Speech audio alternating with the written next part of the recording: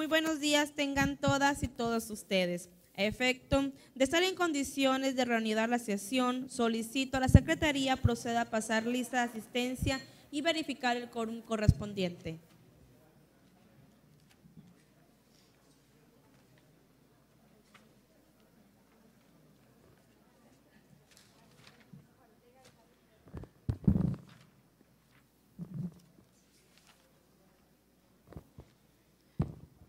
Cumplimiento a indicaciones de la presidencia, procedo a pasar lista de presentes. Diputada Claudia Gabriela Aguirre Luna, la de la voz, presente. Diputado Miguel Ángel Sánchez Verduzco. Diputado Carlos César Farías Ramos. Diputada Araceli García Muro. Diputada Jazmín García Ramírez. Diputado Francisco Javier Rodríguez Osorio. Rodríguez García, perdón. Diputado Guillermo Toscano Reyes. Diputado Vladimir Parra Barragán. Diputada Almalicet Anaya Mejía eh, ausente con justificación. Diputado Julio Anguiano Urbina. Diputada Ana Karen Hernández Aceves. Diputada Ana María Sánchez Landa. Diputado Luis Fernando Escamilla Velasco. Diputado Luis Rogelio Salinas Sánchez, ausente con justificación. Diputado Arturo García Arias. Diputada Francis Anel Bueno Sánchez. Diputada Lisette Rodríguez Soriano. Diputado Rogelio Humberto Rueda Sánchez. Diputada María Guadalupe Berber Corona. Diputada Gretel Culín Jaime. Diputado Luis Fernando Antero Valle. Diputada Marta Alicia Mesa Oregón ausente con justificación. Diputada María Remedios Olivera Orozco. Diputada Rosalba Farías Larios, ausente con justificación. Y diputada Blanca Livier Rodríguez Osorio, ausente con justificación.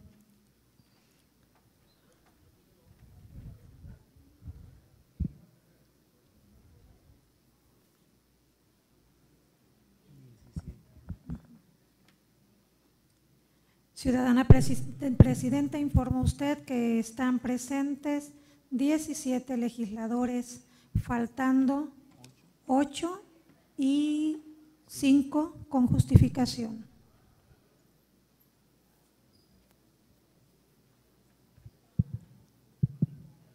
En virtud de existir quórum legal con asistencia de 17 diputadas y diputados, siendo las 11 horas con 34 minutos del 25 de octubre del año 2019. Se reanuda la sesión ordinaria número 3, correspondiente al primer periodo ordinario de sesiones del segundo año de ejercicio constitucional de esta quincuagésima novena legislatura. Conforme al siguiente punto del orden del día, en términos de lo dispuesto en el artículo 31 de la Constitución Política del Estado Libre y Soberano de Colima, continuaremos con las comparecencias de las y los titulares de la Administración Pública Estatal, así como de la Contraloría General del Estado, en el marco de la glosa del cuarto informe de gobierno. Para tales efectos, se designa a los diputados Rogelio Rueda Sánchez, Gretel Culin Jaime y Vladimir Parra Barragán como integrantes de las comisiones de cortesía que acompañarán al recinto a la titular de la Contraloría General del Estado del Gobierno del Estado de Colima, en tanto que las comisiones cumplen con su cometido, siendo las 11 horas con 35 minutos, decreto un receso.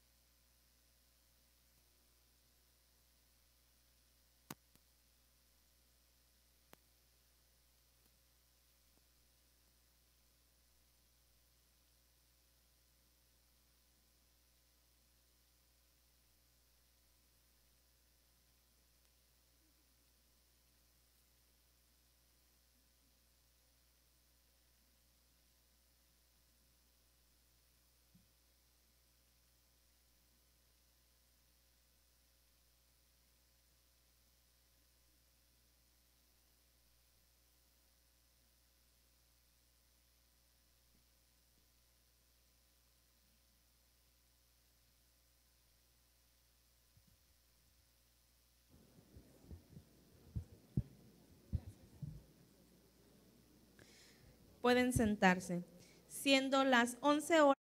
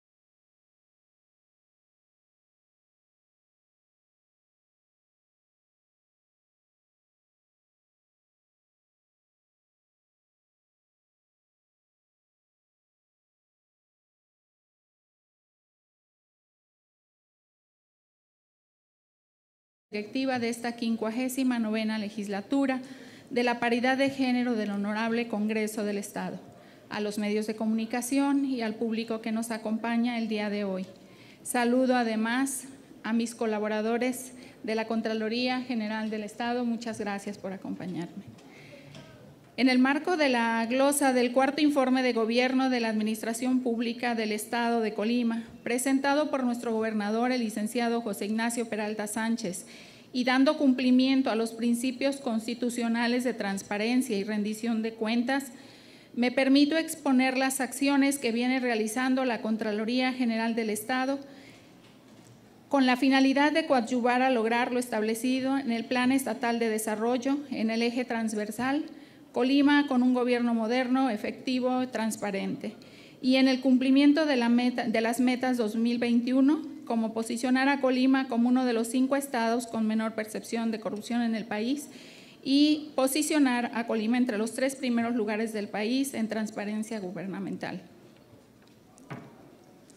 La Contraloría General lleva a cabo un programa de trabajo construido con estrategias coordinadas con la Comisión Permanente de Contralores, Estados Federación, la Secretaría de la Función Pública y la Auditoría Superior de la Federación, a través del seguimiento a programas federales y contrataciones públicas, el fortalecimiento a la práctica de auditoría, la gestión de la actualización del marco legal y normativo de programas y fondos federales ejecutados por los entes públicos locales, el Sistema Nacional de Fiscalización, políticas de gobierno abierto y transparente, la promoción y difusión de Contraloría Social, los procedimientos de responsabilidades administrativas, la promoción de participación social, la ética pública, la implementación del control interno y la mejora de la gestión.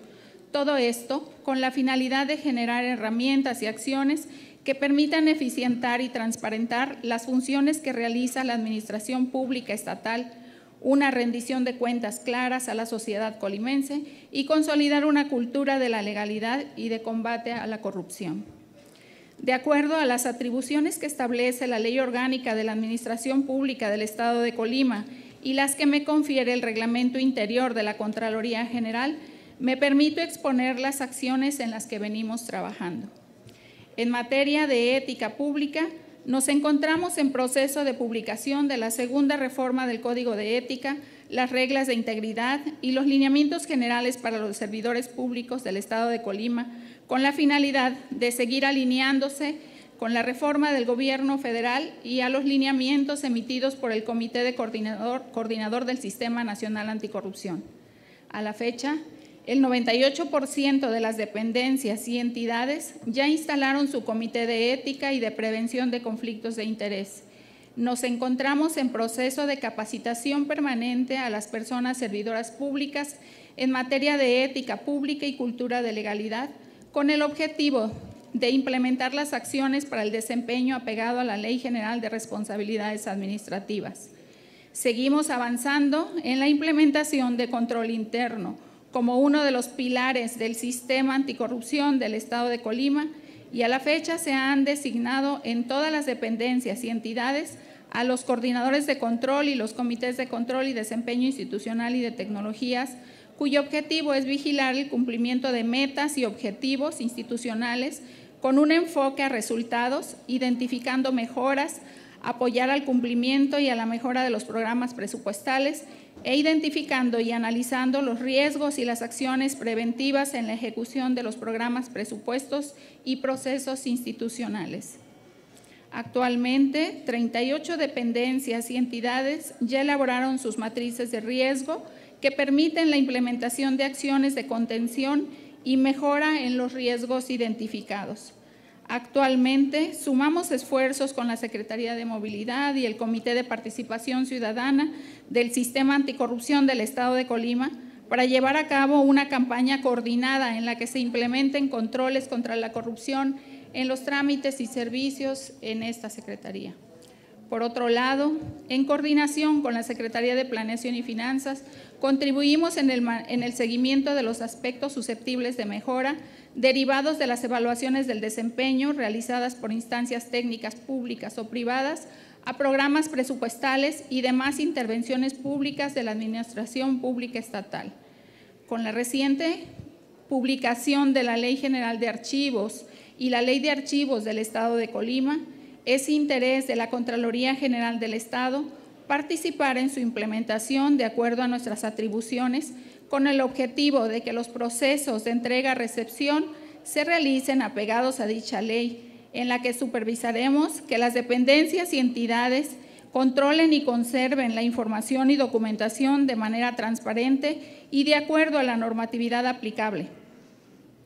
Prueba de ello, en cumplimiento a la Ley de Transparencia y Acceso a la Información Pública del Estado de Colima, la Contraloría es la única dependencia que publicó a partir del segundo trimestre de este año en el portal de transparencia su catálogo de disposición documental, instrumento de control archivístico, de registro general y sistémico que establece los valores documentales, los plazos de conservación y la disposición documental de la Contraloría General del Estado. En temas de auditoría gubernamental, durante el periodo de octubre de 2018 a septiembre de 2019, esta Dirección de Auditoría realizó 194 revisiones a las, a las, dependencias centralizadas, fideicomisos y organismos descentralizados de la Administración Pública Estatal. De esas revisiones, 56 auditorías fueron integrales, 82 específicas y 56 especiales. Como asesores, Hemos participado en 216 reuniones ordinarias de comité de compras y en 116 procesos de licitación pública convocadas por las diferentes dependencias del Poder Ejecutivo, vigilando el cumplimiento de los ordenamientos legales aplicables y haciendo los comentarios pertinentes en cada situación conforme a las leyes de la materia. Se ha asesorado y revisado la integración de libros blancos conforme a la normatividad aplicable, respecto del ejercicio de los recursos federales por parte de las diferentes dependencias del Poder Ejecutivo. Como parte de las medidas preventivas que aplica esta Contraloría, se tiene presencia en la Secretaría de Planeación y Finanzas a efectos de realizar una revisión oportuna de los trámites que se presentan para pago en la Dirección General de Egresos, realizando en promedio una revisión de 60 trámites diarios, a los cuales se les efectúa un análisis minucioso con la finalidad de verificar que estos cumplen con las disposiciones normativas, fiscales y legales aplicables y que están soportados con la documentación comprobatoria y justificativa necesaria que transparenten el ejercicio del gasto.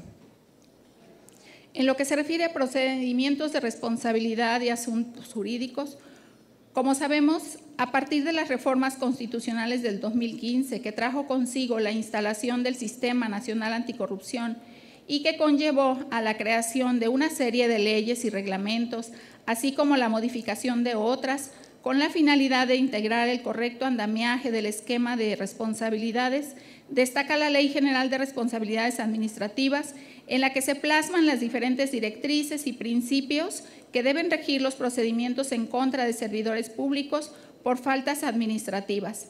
Sin embargo, no se previó que en la transición de las disposiciones normativas quedaría un vacío legal que ha generado un verdadero galimatías en la tramitación de los procedimientos, pues para muestra se encuentra la Ley Estatal de Responsabilidades de los Servidores Públicos, en la cual no se dispuso de una abrogación escalonada o paulatina, sino que se determinó una abrogación, digámoslo, a rajatabla.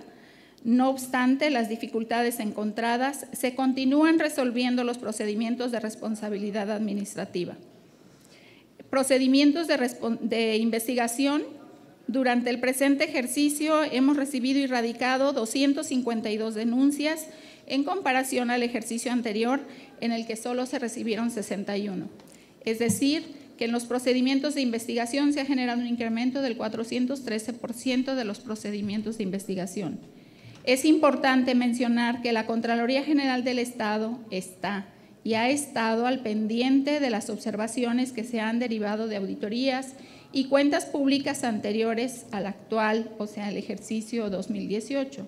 Muestra de ello es que dentro del presente año se tiene determinada la solventación de más de 300.48 millones que son relativas a observaciones de cuentas públicas de 2013 al 2017. La Contraloría General, como unidad de transparencia o ventanilla de transparencia del Poder Ejecutivo Estatal, Coordina la publicación de la información de la Administración Pública Centralizada que debe permanecer a disposición del público en la Plataforma Nacional de Transparencia y en el Portal Estatal de Transparencia. Asimismo, recibe y tramita las solicitudes de información coordinando a las dependencias estatales para que se dé respuesta en los términos establecidos en la Ley Estatal de, Transparencia y acceso a la información pública. En el periodo de enero a septiembre del presente año se atendieron 680 solicitudes de información y 30 recursos de revisión. Convencidos de que la transparencia y el acceso a la información juegan un papel esencial en la construcción de un gobierno más comprometido con el escrutinio público, el Poder Ejecutivo del Estado firmó el convenio de colaboración en materia de comisiones abiertas con el Instituto Nacional de Transparencia, Acceso a la Información y Protección de Datos Personales, el INAI. Dicho convenio tiene por objeto que se publique y actualice de manera trimestral la información de las comisiones oficiales de los servidores públicos en la herramienta informática Comisiones Abiertas, cuyo propósito es transparentar de manera ágil y sencilla la información pública relativa a los viajes de trabajo de los funcionarios. Le apostamos también a la prevención con la finalidad de contribuir a que seamos un gobierno en donde impere una cultura de legalidad, integridad, de transparencia y de rendición de cuentas y combate a la corrupción. Tenemos enfocados todos nuestros esfuerzos y los recursos con los que contamos para lograr de manera coordinada con el trabajo de todos y a que la Administración Pública Estatal aplique sus recursos de manera eficiente en el cumplimiento de las responsabilidades y compromisos que nos ha encomendado el señor gobernador en beneficio de la ciudadanía colimense. Es cuanto. Muchísimas gracias.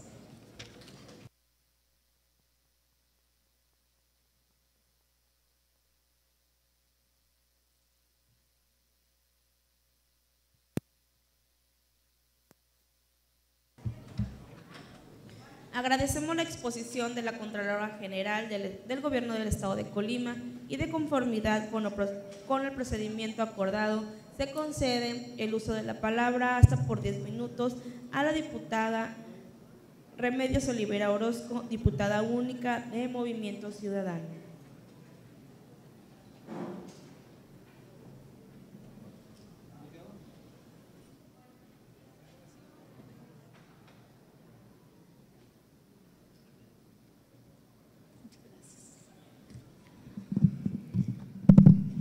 Muchas gracias, diputada presidenta.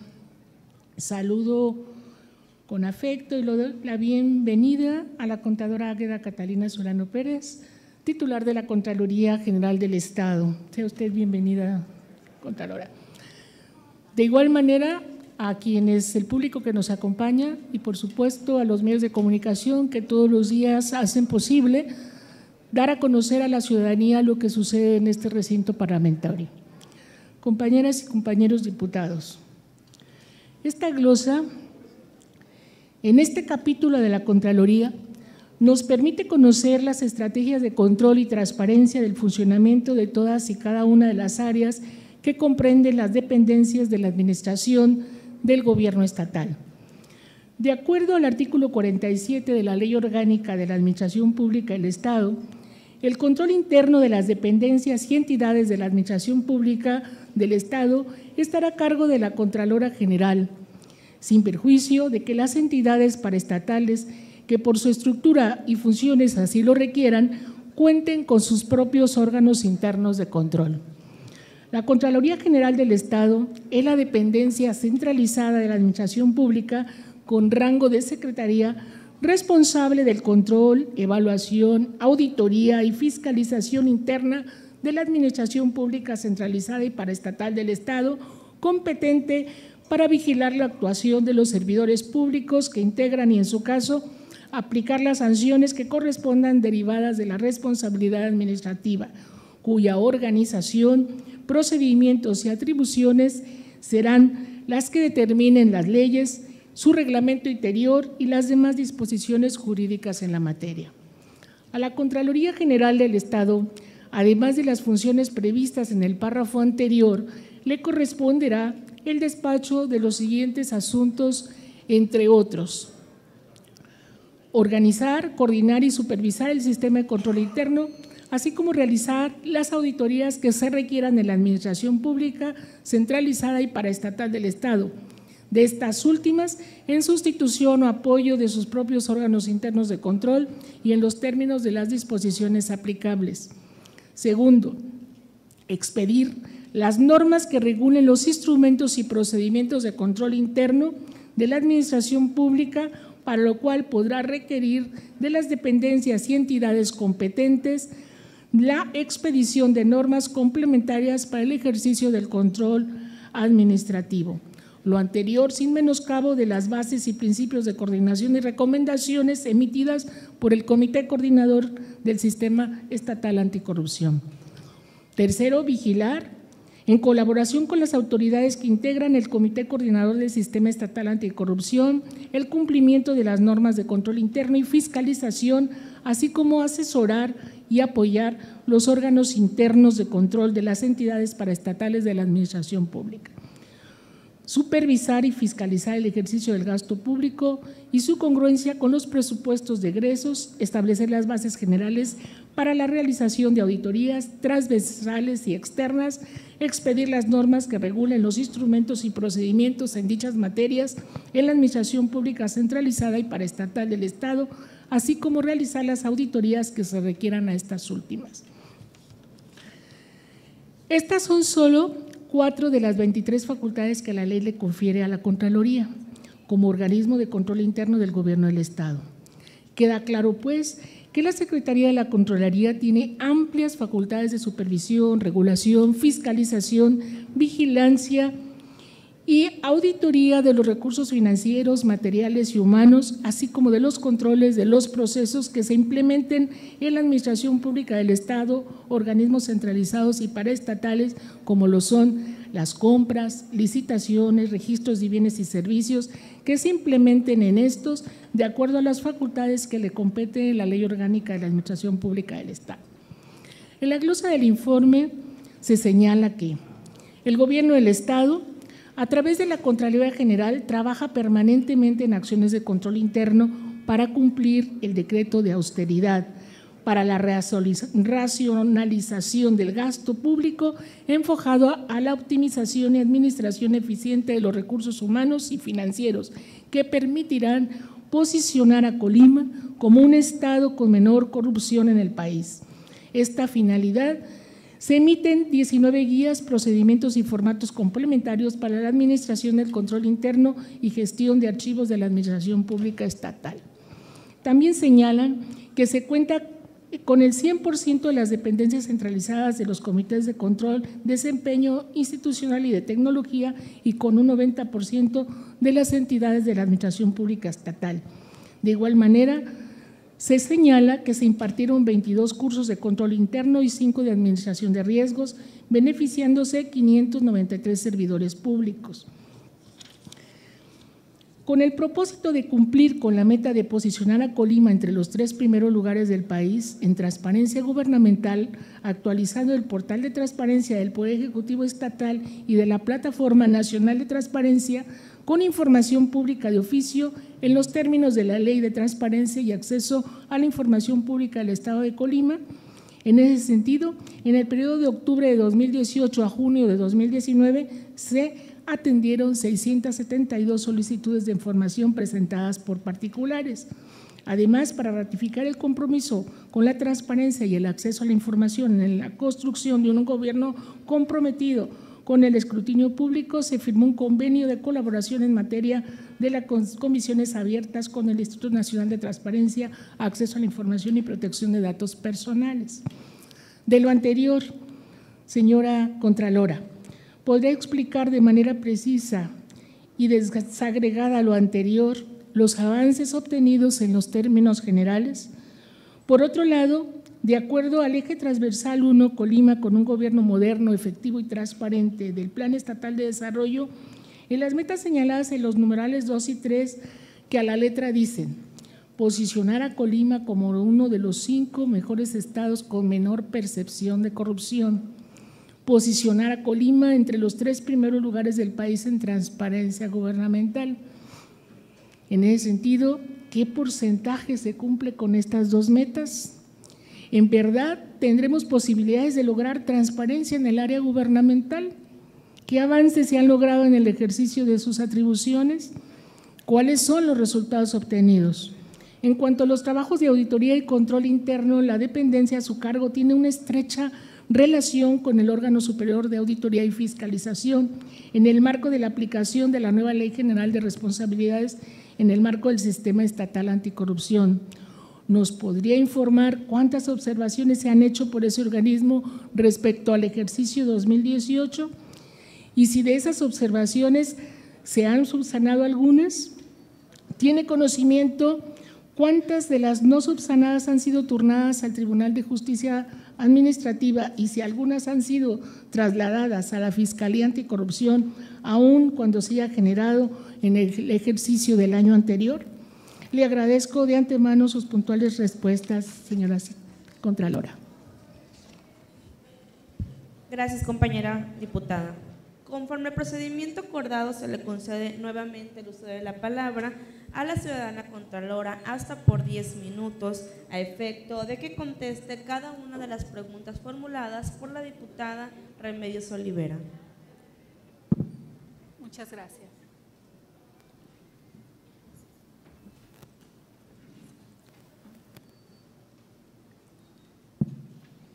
Gracias, diputada. Este, en principio, comentaré con usted eh, o le comentaré los avances en cuestiones o, en, con relación al control interno que hemos trabajado al interior de la Contraloría con todas las demás dependencias. Eh, es uno de los pilares que, como ya lo había mencionado, en la prevención en, en, contra de la corrupción, puesto que el llevar a cabo esta sensibilización con todos los entes nos permite que el personal que esté a cargo del control interno pueda identificar riesgos de corrupción, hacer su, hacer su mapa de riesgos eh, y tratar con todos los lineamientos que se generen al interior de cada dependencia, pues la inhibir, inhibir estas conductas de corrupción, eh, también tener, o sea, tener información de toda la legislación que le son aplicables y específicamente la ley de responsabilidades en la que cada, cada funcionario público debe conocer respecto de sus obligaciones y el trabajo que lleva a cabo. Eh, sí, efectivamente hemos designado a los coordinadores de control interno en las 17 dependencias y 23 entidades, en las cuales ya se tienen instalados los 100%, 100 de los comités de control, cuyo objetivo es vigilar el cumplimiento y metas y objetivos con un enfoque a resultados y de esta manera coordinamos al mismo tiempo que los recursos que se manejan al interior de cada secretaría se dispongan de manera perfectamente enfocados y reglamentados de acuerdo a leyes, eh, reglas de operación y demás. Eh, lo que se refiere a la implementación, se difunden de manera permanente 19 guías, procedimientos y formatos complementarios para la implementación del control interno en la administración pública estatal. No hemos dejado de capacitar, asesorar y apoyar desde inicios del 2017 que hemos iniciado con la estrategia de prevención a través del control interno. Durante estos ejercicios, la capacitación y asesoría a las dependencias es constante, solamente nos la solicitan y se calendarizan para poder atenderlos a todos los que están interesados en volver a capacitarse porque muchas de las veces los funcionarios están cambiando y requieren de capacitación eh, cuando, son, cuando son de nuevo ingreso a una área. Em, en las efectivamente, el impacto de son de 834 personas servidoras públicas capacitadas y acumulado de 2017 a la fecha llevamos 1.794 personas capacitadas. Actualmente, 38 dependencias y entidades ya elaboraron sus matrices de riesgo que permiten la implementación de acciones de contención y mejora de los riesgos ya identificados. Esto nos da pauta para que precisamente conozcan el riesgo de, corrupción o de irregularidades o de anomalías que puedan tener en cada área los diferentes, las diferentes personas que son encargadas del control interno. Con relación a los procedimientos de responsabilidad administrativa, se encuentran en trámite, si podemos ver, traemos una laminita que es la, la diapositiva número 10, que ahí vemos eh, la Contraloría General del Estado tiene radicados y en trámite un total de 175 procedimientos de responsabilidad administrativa, de los cuales 137 son derivados de auditoría a recursos del gasto federalizado, 26 son derivados de auditoría a recursos federales auditados por la Secretaría de la Función Pública en forma conjunta con esta Contraloría. Seis son derivados de resultados de auditorías propias de la Contraloría y seis tuvieron su origen por denuncias ciudadanas. Todos estos procedimientos de responsabilidad se encuentran actualmente en trámite, por lo que me preguntaba, contadora, este, diputada, de los, de los procedimientos durante el 2018. Eh, llevar a cabo este procedimiento implica tiempos porque sí hay que analizar, primero investigar, citar a los, implicados y llevar a cabo todas las, um, los procesos, vaya, que, nos dan al final o nos permiten al final tener una resolución, ya sea de sanción o de, eh, de no aplicación o de no responsabilidad del funcionario. Este, en otra de las preguntas. En efecto, se remitió un procedimiento al Tribunal de Justicia Administrativa. Sin embargo, este nos fue devuelto a efecto de subsanar algunos aspectos para con ello evitar vulnerar los derechos humanos de los servidores públicos involucrados. Eh, somos, estamos iniciando todo este proceso que pues, al inicio de la aplicación de la ley de responsabilidades pues se tienen em, estos envíos de expedientes a fin de que también el tribunal vaya conociendo de los casos y nos haga las observaciones pertinentes. con relación a cuántos procedimientos de responsabilidad administrativa se resolvieron en el presente año, se han resuelto 66 procedimientos de responsabilidad administrativa, como ya lo había mencionado, la aplicación de las nuevas disposiciones en el también nuevo esquema de responsabilidades ha generado dificultades en tramitación de los procedimientos. Recientemente han surgido criterios orientados de las autoridades judiciales federales, los cuales estoy seguro, segura permitirán darle celeridad a los procedimientos que tenemos por resolver. Esto se los comento por el hecho que, les, que en mi introducción les mencionaba de las leyes que, se derogaron o se eh, totalmente sin llevar de forma escalonada una abrogación de la ley anterior de responsabilidades.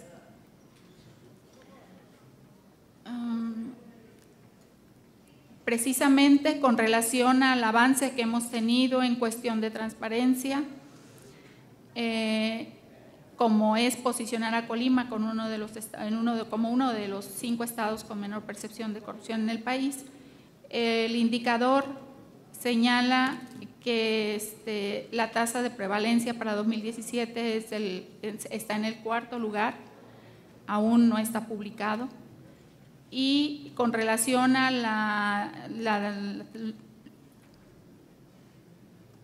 la, posición, de posicionar a Colima entre los tres primeros lugares del país en transparencia gubernamental, el indicador es el índice de información presupuestal estatal, que es el IP. Eh, ahí tenemos hasta 2017 el 100% de cumplimiento. Esto en 2019 tenemos el 98.28, también aún sin publicar, pero ya nos lo han dado a conocer. Eh, con relación a, comisiones abiertas, la información de los viajes oficiales se encuentra publicado en Plataforma Nacional Transparencia, así como en las comisiones abiertas del INAI. Asimismo, las facturas relativas a los vuelos realizados por el titular del Poder Ejecutivo se encuentran publicados en el portal del Poder Ejecutivo clasificadas por año. Ahora bien, debe aclararse que la información se actualiza en los portales del INAI de manera trimestral, toda vez que, eh, que, cada tres meses el portal de comisiones abiertas traslada la información de la Plataforma Nacional de Transparencia, situación que el INAE monitorea y reporta al Poder Ejecutivo. ¿Cuáles son los montos observados en las auditorías realizadas por la Contraloría? Por el periodo informado se realizaron 194 auditorías y tuvimos observaciones por un monto de 586.9 millones de pesos, de los cuales al 30 de septiembre se habían solventado observaciones por un importe de 59.44%, quedando pendiente de solventar observaciones por 527.4 millones de pesos dentro del cual se solicitan reintegros también por 6.575.000 pesos. Cabe hacer mención que de estos importes aún se encuentran en proceso de solventación por parte de las dependencias auditadas. Eh, creo que no me faltó ninguna diputada o alguna otra. Gracias. Gracias. Gracias, Contralora. Tiene la palabra la diputada Remedios Olivera, hasta por tres minutos para formular alguna réplica.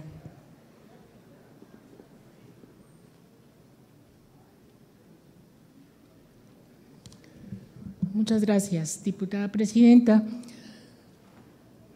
Sin duda, el informe que nos presentan arroja trabajo realizado en los anexos se señalan con más precisión. Sin embargo, Contralora, yo no dudo de la capacidad y la honestidad del trabajo de su persona y de su equipo. Pero lo que la ciudadanía percibe todavía es que no hemos logrado los resultados que se plantean en el plan estatal. Usted dice que no se han publicado en cuanto a las metas de llevar a Colima a un mejor nivel, de posicionarlo en un mejor nivel de transparencia y de percepción de la corrupción. Y puede que las estadísticas estén señalando como indicadores una parte, pero la ciudadanía le queda otra sensación. Yo creo que durante años hemos fallado como gobierno en el manejo escrupuloso de los recursos, que es muy difícil, muy complicado que la ciudadanía nos vuelva a tener confianza. Yo considero que tenemos que trabajar muy fuerte en la aplicación de la ley, porque mire, usted está señalando ahí 175 procesos administrativos implementados, pero pues son muy lentos los procesos para determinar las responsabilidades y es muy poco lo que se puede recuperar de ahí porque no se aplica con prontitud. Ahorita, pues en el cambio de esquema de la ley, entiendo, eso también ha dificultado, pero todo eso propicia un espacio enorme, muy grande a la impunidad y al no ejercicio de la ley. Y eso obviamente no es su responsabilidad, pero es parte de todo este esquema. Entonces, el exhorto sería a que buscáramos cómo transitar más rápidamente a un estado de aplicación de la ley. Aquí, en este Congreso, su servidora propuso una iniciativa y fue aprobada por este Pleno para que las sanciones que se deriven de desvío de recursos y que antes eran solamente inhabilitaciones pasajeras, puedan ser de manera definitiva para que los funcionarios que le fallen a la gente no vuelvan a ocupar un espacio público. En cuanto a la fiscalización de los recursos federales, que se informa que se realizó en gran medida por la Auditoría Superior de la Federación y la Secretaría de la Función Pública, en el periodo que se informa, con este propósito, la Auditoría Superior abrió 19 auditorías dice que 13 se encuentran en proceso y 6 ya concluidas. En relación con la Secretaría de la Función Pública, dice, se han impulsado el proceso para solventar 132 observaciones por un monto superior a los 133 millones de pesos. En tanto, se encuentran pendientes de emitir respuestas de la solvencia de 67 observaciones por un monto mayor a los 235 millones de pesos. De las seis auditorías concluidas que la Auditoría Superior de la Federación llevó a cabo, ¿cuáles fueron los resultados? Se encontraron inconsistencias y observaciones por faltas consideradas graves, se derivan algunas sanciones. En lo que respecta al ejercicio de los recursos, la Contraloría General como órgano de control interno de octubre de 2018 a septiembre de 2019 realizó se señala 194 revisiones, de las cuales 56 fueron auditorías integrales, 82 revisiones específicas y 56 revisiones especiales. De este trabajo realizado, nos podrían listar cuáles fueron las dependencias revisadas, cuáles fueron los resultados de estas auditorías integrales, revisiones específicas y especiales. También se señalan auditorías y fiscalización a programas agropecuarios y de obra pública, ¿Podría decirnos cuáles han sido los resultados de ese esquema de fiscalización? ¿Se han hecho señalamientos o recomendaciones? ¿Se han impuesto sanciones? Le agradezco antemano sus respuestas en el afán de transparentar todas las acciones del gobierno y más las que tienen que ver con el uso de los recursos públicos, que es lo que le interesa a la ciudadanía. El movimiento ciudadano nos importa, nos es muy importante que el ejercicio de los recursos se tengan total y absoluta transparencia. Creo que los principios de transparencia y rendición de cuentas son los principios que enarbola todo buen gobierno. El dinero de la gente es sagrado y las auditorías, las autoridades de todos los niveles de gobierno estamos obligados a administrarlo con responsabilidad y transparencia en su ejercicio. Solo de esta manera podemos combatir la, corrupción y llevar a mejores niveles de vida a los colimenses. Tenemos que recuperar la confianza y tenemos que ponernos a trabajar en ese sentido. Muchas gracias.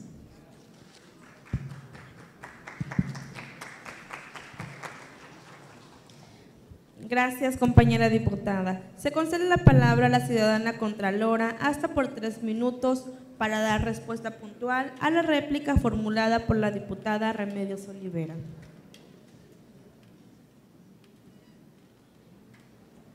Gracias, diputada. Yo estoy totalmente de acuerdo con usted en que falta mucho por hacer, en que es, es complicado eh, pensar en que podamos eh, tan rápido llegar a una meta que fue ambiciosa desde el principio, pero que tenemos hasta la fecha no ha aflojado el paso para poder llegar a, de ser posible dentro del, sexenio como lo, como lo estableció el señor gobernador, a, tener cumplidas estas metas. Eh, efectivamente, el, digamos en el avance que tenemos de las observaciones que la Auditoría Superior de la Federación le ha hecho a Colima, podemos ver en la, en la, en la diapositiva 2, ahí es la Auditoría Superior de la Federación únicamente ha presentado la primera entrega de los informes individuales por el ejercicio de auditorías 2018. Es la cuenta pública 2018. Recordemos que las entregas de los informes individuales de auditoría se realizan en tres entregas. La primera, el último día hábil del mes de junio, la segunda, el último día hábil del mes de octubre y la tercera, hasta el 20 de febrero del siguiente año. Al de la presentación de la cuenta pública, razones que me permiten exponer únicamente lo relativo a la primera entrega porque es la que acaban de terminar y entregarnos. En la primera entrega se presentaron seis informes individual, perdón, seis informes individuales que corresponden al mismo número de auditorías, o sea, fueron únicamente seis llevadas a cabo por la Auditoría Superior y representa un universo del recurso de 1.988.4 millones de pesos. La muestra auditada fue de 1.863 millones de pesos, es decir, que se auditó el 92% de los recursos radicados al Estado. Y lo más importante, resultó observado únicamente un monto de 30.06 millones de pesos, es decir, el 1.6% respecto a la muestra auditada, 1.5% respecto del universo del recurso que yo considero que es un gran logro y avance en los números eh, en relación al histórico de las cuentas públicas pasadas. ¿Qué ha pasado? ¿Qué hemos, qué, hemos hecho para, para, ir logrando esta, esta disminución en las observaciones? Eh, hemos trabajado con los, con los ejecutores de los recursos de tal manera que, por ejemplo, los auditores tengan a la mano absolutamente toda la información y comprobación antes de cerrar la auditoría. Es muy frecuente o era muy frecuente que los auditores cierran el trabajo de revisión o de auditoría y posteriormente hacen los requerimientos de la información que falta. Si ellos no la tienen oportunamente, bueno, ya se considera una observación, porque en tanto no la tengan en sus manos y esté comprobada, esta observación va a persistir hasta que lo analicen de nuevo y vuelvan a, dar eh, una resolución de validez a, las los documentos que se les envían. En, esta, en estas últimas auditorías por el ejercicio 2018 sí se ha trabajado, creo que también hay que agradecer a las ejecutoras el empeño que han puesto por tratar de resolver dentro de la auditoría todas las las solicitudes de información, las comprobaciones y demás que se les han pedido para efecto de comprobar antes de que se vayan los auditores todo, todo lo que se les solicita. ¿no? Entonces esto creo yo que también es un avance que hemos estado llevando a cabo en la, en la Contraloría para, para, mejorar esta situación. Por otro lado, también este, tenemos, hemos trabajado en la Contraloría en razón de darle prioridad, atención y que se resuelvan de manera expedita precisamente con el fin de tener eh, agilidad en los procedimientos de responsabilidad. Hemos reorganizado la Contraloría de tal manera que generamos una dirección de seguimiento. Esta dirección de seguimiento está exclusivamente enfocada a atender los temas de observaciones de toda la naturaleza, de toda naturaleza, sean de auditorías propias, sean de auditorías de la función pública y sean auditorías de la función de la Secretaría, digo, de la Auditoría Superior de la Federación. Entonces, este, esto le, abundo también, eh, diputada, con relación a la, información que le planteo en esta diapositiva. En la tercera, en la diapositiva 3, Ahora bien, de dichos informes individuales de auditoría dieron como resultado 58 acciones, término que la Ley de Fiscalización y Rendición de Cuentas de la Federación les da de acuerdo a la característica que en ella encuentran y que se desglosan de la siguiente manera. Fueron nueve pliegos de observaciones, se emitieron tres recomendaciones y se promovió la intervención de este órgano estatal de control en 46 promociones de responsabilidad administrativa sancionatoria. Quiero mencionarle que todas estas promociones de responsabilidad sancionatoria son generalmente em, faltas administrativas que a la Contraloría nos toca investigar y darle seguimiento hasta el final. Lo que le mencionaba de, tratar de dividir el trabajo de seguimiento de lo de asuntos jurídicos nos va a permitir darle agilidad también a los procedimientos, de manera que no sean tan tardados y se pueda tener una resolución rápida y expedita para, estas, para estos procedimientos de responsabilidad. El monto, le, comento el monto observado que corresponde a los nueve pliegos de observaciones indicados, sin embargo, y no obstante el mismo, la Contraloría General del Estado generó los requerimientos inmediatos a las dependencias que por sus atribuciones fueron los ejecutoras del recurso, luego de que los pliegos de observaciones fueron notificados formalmente por la Auditoría Superior al Gobierno del Estado. Lo anterior con la finalidad de que se diera puntual atención y respuesta a dichos requerimientos para solventar o aclarar dichos montos, informando a esta soberanía que todos los pliegos, todos los que nos hicieron en la primera entrega, están contestados en tiempo y en forma, acompañando la documentación e información que estamos seguros solventarán dichos, dichas observaciones. Muchas gracias, secretaria. Tiene la palabra la diputada Remedios Olivera hasta por tres minutos a efecto de que cierre su intervención. Muchas gracias, compañera diputada. Se concede ahora el uso de la palabra hasta por diez minutos al diputado del Partido del Trabajo, César Farías.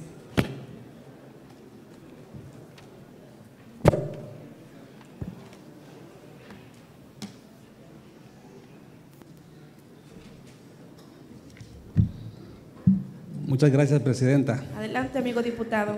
Con su venia. Contadora Águeda Catalina, bienvenida. Gracias. Durante su comparecencia hemos escuchado que se refiere a estrategias coordinadas entre dependencias destinadas a vigilar el actual gubernamental, tanto en el ámbito estatal como federal buscando hacer de la transparencia, la rendición de cuentas y la implementación del sistema estatal anticorrupción pilares fundamentales de la administración pública. Contralora, ya otros titulares de las secretarías de la administración estatal encabezada por el gobernador José Ignacio Peralta Sánchez, que han comparecido ante este Congreso del Estado, han hablado de lo que en papel parece planeado efectivo y suficiente. Sin embargo, los ciudadanos exigen resultados, acciones concretas y resultados evidentes, palpables a los ciudadanos.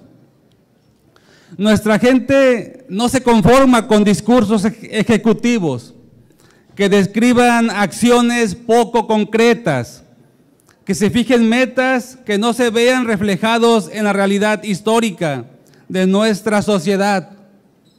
Los colimenses demandan cambio en las instituciones, demandan que se vigile el buen uso de los recursos públicos, la difusión de su actuar y la sanción de aquellos servidores públicos que en ejercicio de sus funciones se conduzcan por un camino distinto a la legalidad. Por ello, al escuchar lo que hoy viene a informarnos como parte de la glosa del cuarto informe de gobierno, surge el cuestionamiento por parte de esta fracción parlamentaria del Grupo del Trabajo sobre los resultados que se han obtenido de los trabajos realizados por la dependencia que usted encabeza. Contralora, ¿qué herramientas se han generado y qué acciones se han ejercido para lograr una mayor eficacia en esta administración. Podemos hablar del control interno como un medio efectivo para lograr un mejor uso de los recursos disponibles del gobierno del Estado. ¿Cómo coadyuvan las auditorías generadas por la Contraloría General a la rendición de cuentas? Cierto es que es una facultad de la Contraloría la vigilancia en el ejercicio de los recursos públicos por parte de las dependencias. Por tanto, es menester conocer cómo han influido los resultados de dichas auditorías en la instauración de procedimientos de responsabilidad administrativa. ¿Qué medidas han tomado en la Contraloría para cerciorarse de que los procedimientos de adquisición de bienes y servicios se realicen apegados a la normatividad aplicable y que los mismos se encuentren disponibles a la consulta pública. ¿Cuáles son los beneficios que se han obtenido con la implementación de los comités de ética en la administración y cómo se tiene pensado lograr consolidación de la cultura, de la legalidad en este gobierno. Son temas de gran importancia. Resulta el cumplimiento de metas y objetivos institucionales. ¿Cuál es el trabajo de los comités de control y desempeño institucional? Por el momento es cuanto.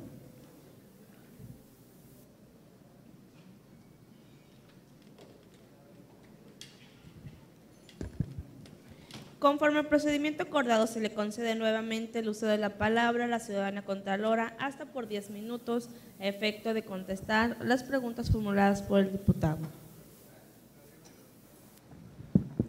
Muchas gracias, diputado. Con respecto a su pregunta, ¿qué herramientas se han generado y qué acciones ha llevado a cabo la Contraloría para, para una mayor eficiencia de esta administración? Podemos hablar, que sí podemos hablar que el control interno forma parte o es efectivo para lograr el mejor uso de los recursos disponibles en el gobierno del Estado. Le informo que sí, eh, hemos, estamos trabajando completamente enfocados también, como, como ya lo mencionaba anteriormente, como uno de los pilares importantes del sistema estatal anticorrupción, lo, como es el control interno hemos generado lineamientos en, materia de ética pública, en materia de control interno, metodología de la administración de riesgos. Esto quiere decir que hemos implementado también auditorías de control interno, las cuales derivan en cédulas de mejora.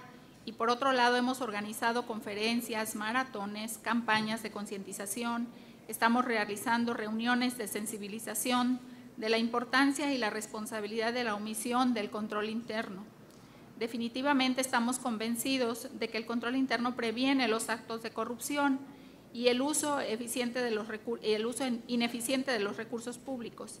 El control interno es un proceso que debe ser liderado por el titular de cada institución y el resto del personal.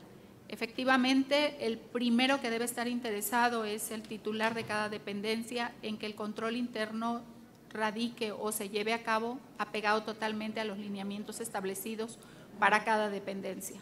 Esto minimiza el riesgo precisamente de corrupción, el riesgo de errores, porque muchas de las veces no, no se dan, eh, no son precisamente unos actos de, de corrupción, sino errores administrativos graves por falta de conocimiento y preparación, capacitación y demás que tiene el personal que administra, que maneja o que trabaja al interior de estas dependencias. De ahí la importancia que tenga precisamente la capacitación permanente que nosotros llevamos a cabo en estas áreas de control interno y de, este, ética, ¿sí? En, todos los niveles y en todas las dependencias. Ha sido un gran esfuerzo con las dependencias y entidades que comprendan que el control interno no debe ser visto como una carga administrativa adicional, sino que además de ser una obligación en el cumplimiento de sus funciones, es una gran herramienta de cumplimiento de orden, transparencia y de rendición de cuentas que permite el cumplimiento de los objetivos, metas y funciones que tiene a cargo cada una de ellas, en la medida de que las dependencias y entidades implementen controles para fortalecer la administración de sus recursos, se irán reduciendo las observaciones en las auditorías financieras. Eso nos queda muy claro, pero sí tiene que ser el interés principal del titular, el que esto se, maneje adecuadamente. Em, ¿Cuál es el trabajo, dice, de los comités de control y desempeño institucional? Creo que esto ya lo mencionaba también, todo lo que se ha implementado por parte de la Contraloría con relación a las, las dependencias que están ya eh, que se han sido capacitados en cuestiones de control y de ética. ¿Cómo coadyuvan las auditorías? Es otra de sus preguntas generadas por la Contraloría General en la rendición de cuentas. Bueno, pues las auditorías como mecanismos de fiscalización nos permite detectar irregularidades en el manejo de los recursos públicos, así como el buen manejo de estos. O sea, se dan ambas situaciones. O sea, hay quienes son muy ordenados, muy precisos, y las auditorías son libres de observaciones, muchas de las cuales están, que tenemos ahí este, mencionadas, han sido sin observación. Hay otras que, bueno, precisamente han ha habido irregularidades y entonces eh, nos permite, en este sentido, colaborar al buen manejo de los, de los, mm, de los servidores públicos que dentro de sus funciones tienen el manejo de recursos públicos y por lo tanto en un, es un examen, digamos, la auditoría.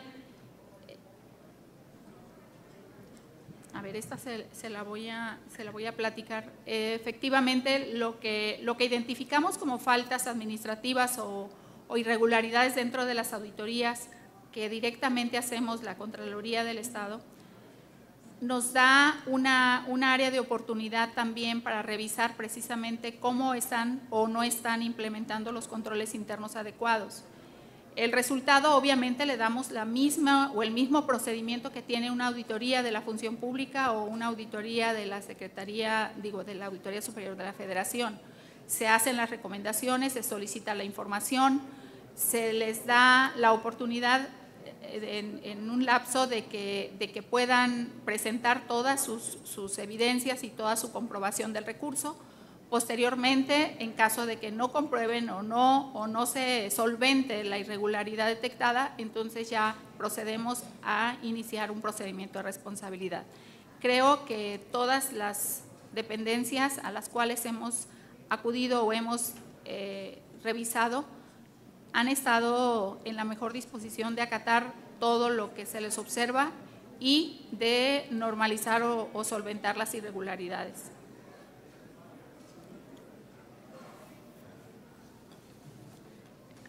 Ahora, otra pregunta creo que viene implícita en, su, su, lo que me decía, ¿qué medidas ha tomado la Contraloría para cerciorarse de que los procedimientos de adquisiciones de bienes y servicios se realicen apegados a la normatividad aplicable?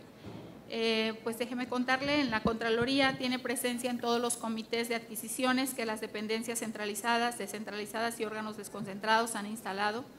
En el mismo se tiene un asiento con voz, pero no, como, no con voto, como asesor del mismo y por supuesto se verifica que los procedimientos se realicen conforme a lo señalado en la legislación aplicable. Asimismo, quiero comentarle que por ley todas las sesiones del comité son transmitidas en vivo lo cual le da transparencia a dichos procedimientos y es importante recalcar que en el caso de no poder ver la transmisión en su momento, se puede consultar la sesión en fechas posteriores. Mm. Ah, bueno, esta ya se, la, ya se la contesté. Yo quisiera también, en el caso que usted observaba, que usted comentaba de cómo la, la ciudadanía se entera o cómo puede ser también partícipe de todas estas funciones o, cómo se destina el recurso para las diferentes acciones que el, gobierno del Estado lleva a cabo, eh, tenemos también implementado todo lo que es la Contraloría Social. La Contraloría Social, los comités de obra, estos comités le permiten al ciudadano acercarse y formar parte de estos comités y se coordinan a través también de nuestra dependencia o de la Dirección de Transparencia en la cual todos los ciudadanos pueden enterarse de, cuáles obras se van a llevar a cabo, a, manifestar sus inconformidades, a manifestar los requerimientos de sus, de sus comunidades o de sus áreas o de sus barrios o a donde se va a llevar a cabo la obra. Creo que esto es un concepto que sí debieran tener más conocimiento la ciudadanía de que existen, porque nos ayuda mucho al gobierno del Estado también a identificar las necesidades de la ciudadanía y a la vez a la Contraloría nos permite ver eh, la opinión y la satisfacción que tenga el ciudadano con las obras que se llevan a cabo. No sé si este, tenga otra pregunta, diputado.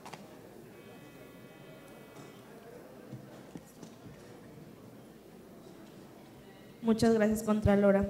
Tiene la palabra el diputado Farías Ramos, hasta por tres minutos, a efecto de formular alguna réplica.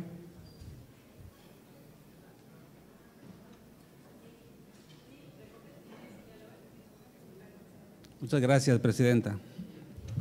Contralora, como bien sabemos, el sistema estatal anticorrupción, la transparencia y el acceso a la información son figuras que necesariamente se encuentran relacionadas, pues todas ellas persiguen un mismo objetivo, rendición de cuentas claras, difusión de información y el, y el respeto irrestricto del derecho que tienen los ciudadanos de conocer la información pública que se encuentra en posesión de los sujetos obligados. La sociedad colimense no se conforma con lo que escucha.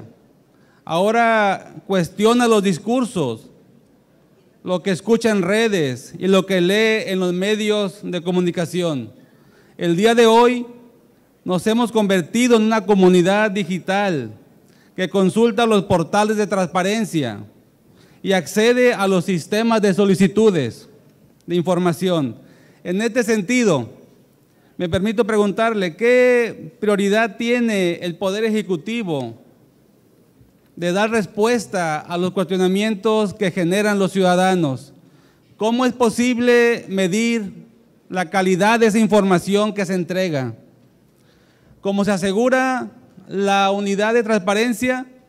Que en el portal se encuentra publicada la información que mandata la ley y que, el personal que atiende la ciudadanía en materia de transparencia se encuentra en posibilidades de brindar la atención necesaria a los ciudadanos.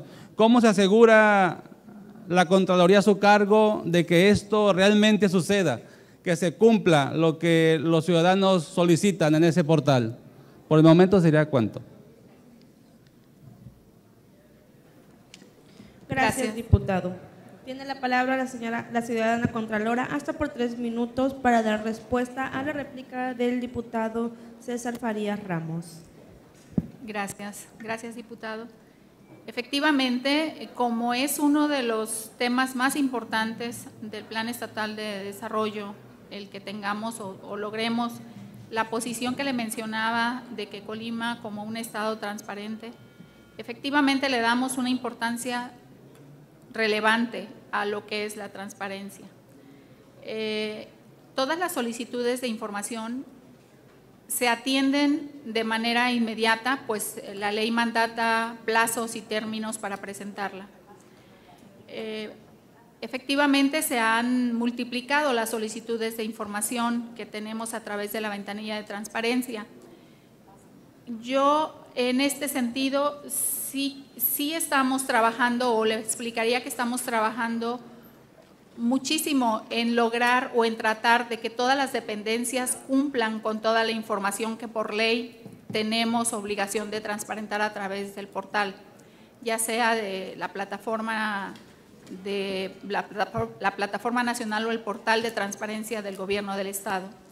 Esto a nosotros nos interesa de manera sobresaliente porque nos quita, cuando un ciudadano encuentra la información en el portal, a nosotros nos quita trabajo, porque de otra forma el ciudadano va a acudir a solicitar a través de la ventanilla la información que requiere. Y eso ya nos da a nosotros la necesidad de solicitar a la dependencia la información, de llevar en cuenta o llevar la cuenta del plazo que tenemos para entregarla, de que la información efectivamente sea cierta, veraz, fehaciente, suficiente, porque de otra manera, bueno, nos va a generar un recurso que posteriormente también nos implica otro procedimiento adicional al proporcionar la información.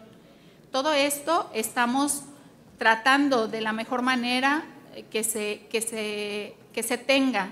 Es muy, muy sencillo cuando la información está en el portal y que nosotros le damos una referencia o una liga a un solicitante para que acceda a esa información.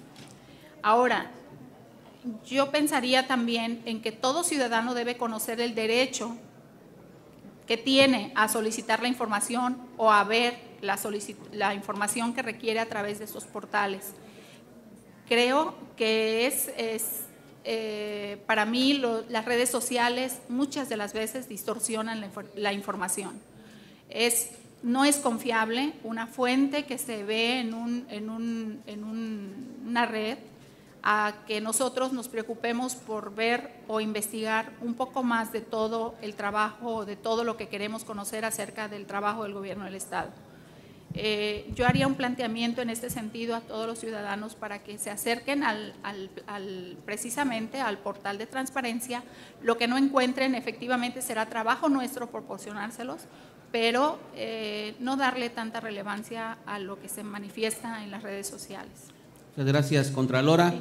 Tiene la palabra el diputado Carlos César Faría Ramos, hasta por tres minutos a efecto de que cierre su intervención del Grupo Parlamentario del Partido del Trabajo.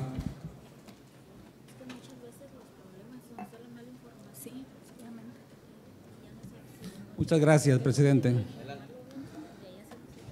Como coordinador del Grupo Parlamentario del Partido del Trabajo, me queda absolutamente claro las complejidades que tiene la Contraloría a su cargo, Contralora, como parte integrante de un ente público. Es decir, es muy difícil ser juez y parte. Usted forma parte de un ente público históricamente corrupto. Sin embargo, tengo la convicción de que el ejercicio correcto de sus facultades y atribuciones bien pueden mejorar en muchas áreas toda la actividad gubernamental no es fácil. Forma parte del ente público al que pertenece. También como coordinador del Grupo Parlamentario del Trabajo me parece que es importante que la Contraloría adquiera un nivel de autonomía para que pueda realizar sus funciones con la autonomía que se requiere. De lo contrario, me parece que es un trabajo que no va a poder avanzar como los ciudadanos colimenses lo exigimos. También tengo que decirlo, ser la existencia de una Contraloría que vigila al ente al que pertenece, no deja nunca de ser una aberración jurídica, es ser juez y parte. Es necesario una gran reforma para que a través del ejercicio autónomo, de la Contraloría a su cargo, pueda usted realmente llevar a cabo el trabajo muy profundo que provoque un cambio en toda la actividad gubernamental. Es tiempo de impulsar esa reforma por sus respuestas, por su atención, por su transparencia. Muchas gracias, Contralora. Gracias, diputado. Muchas gracias, compañero diputado en el siguiente punto del orden del día se concede ahora el uso de la palabra hasta por 10 minutos a la compañera diputada Gretel Culín Jaime del Grupo Parlamentario del Partido Acción Nacional.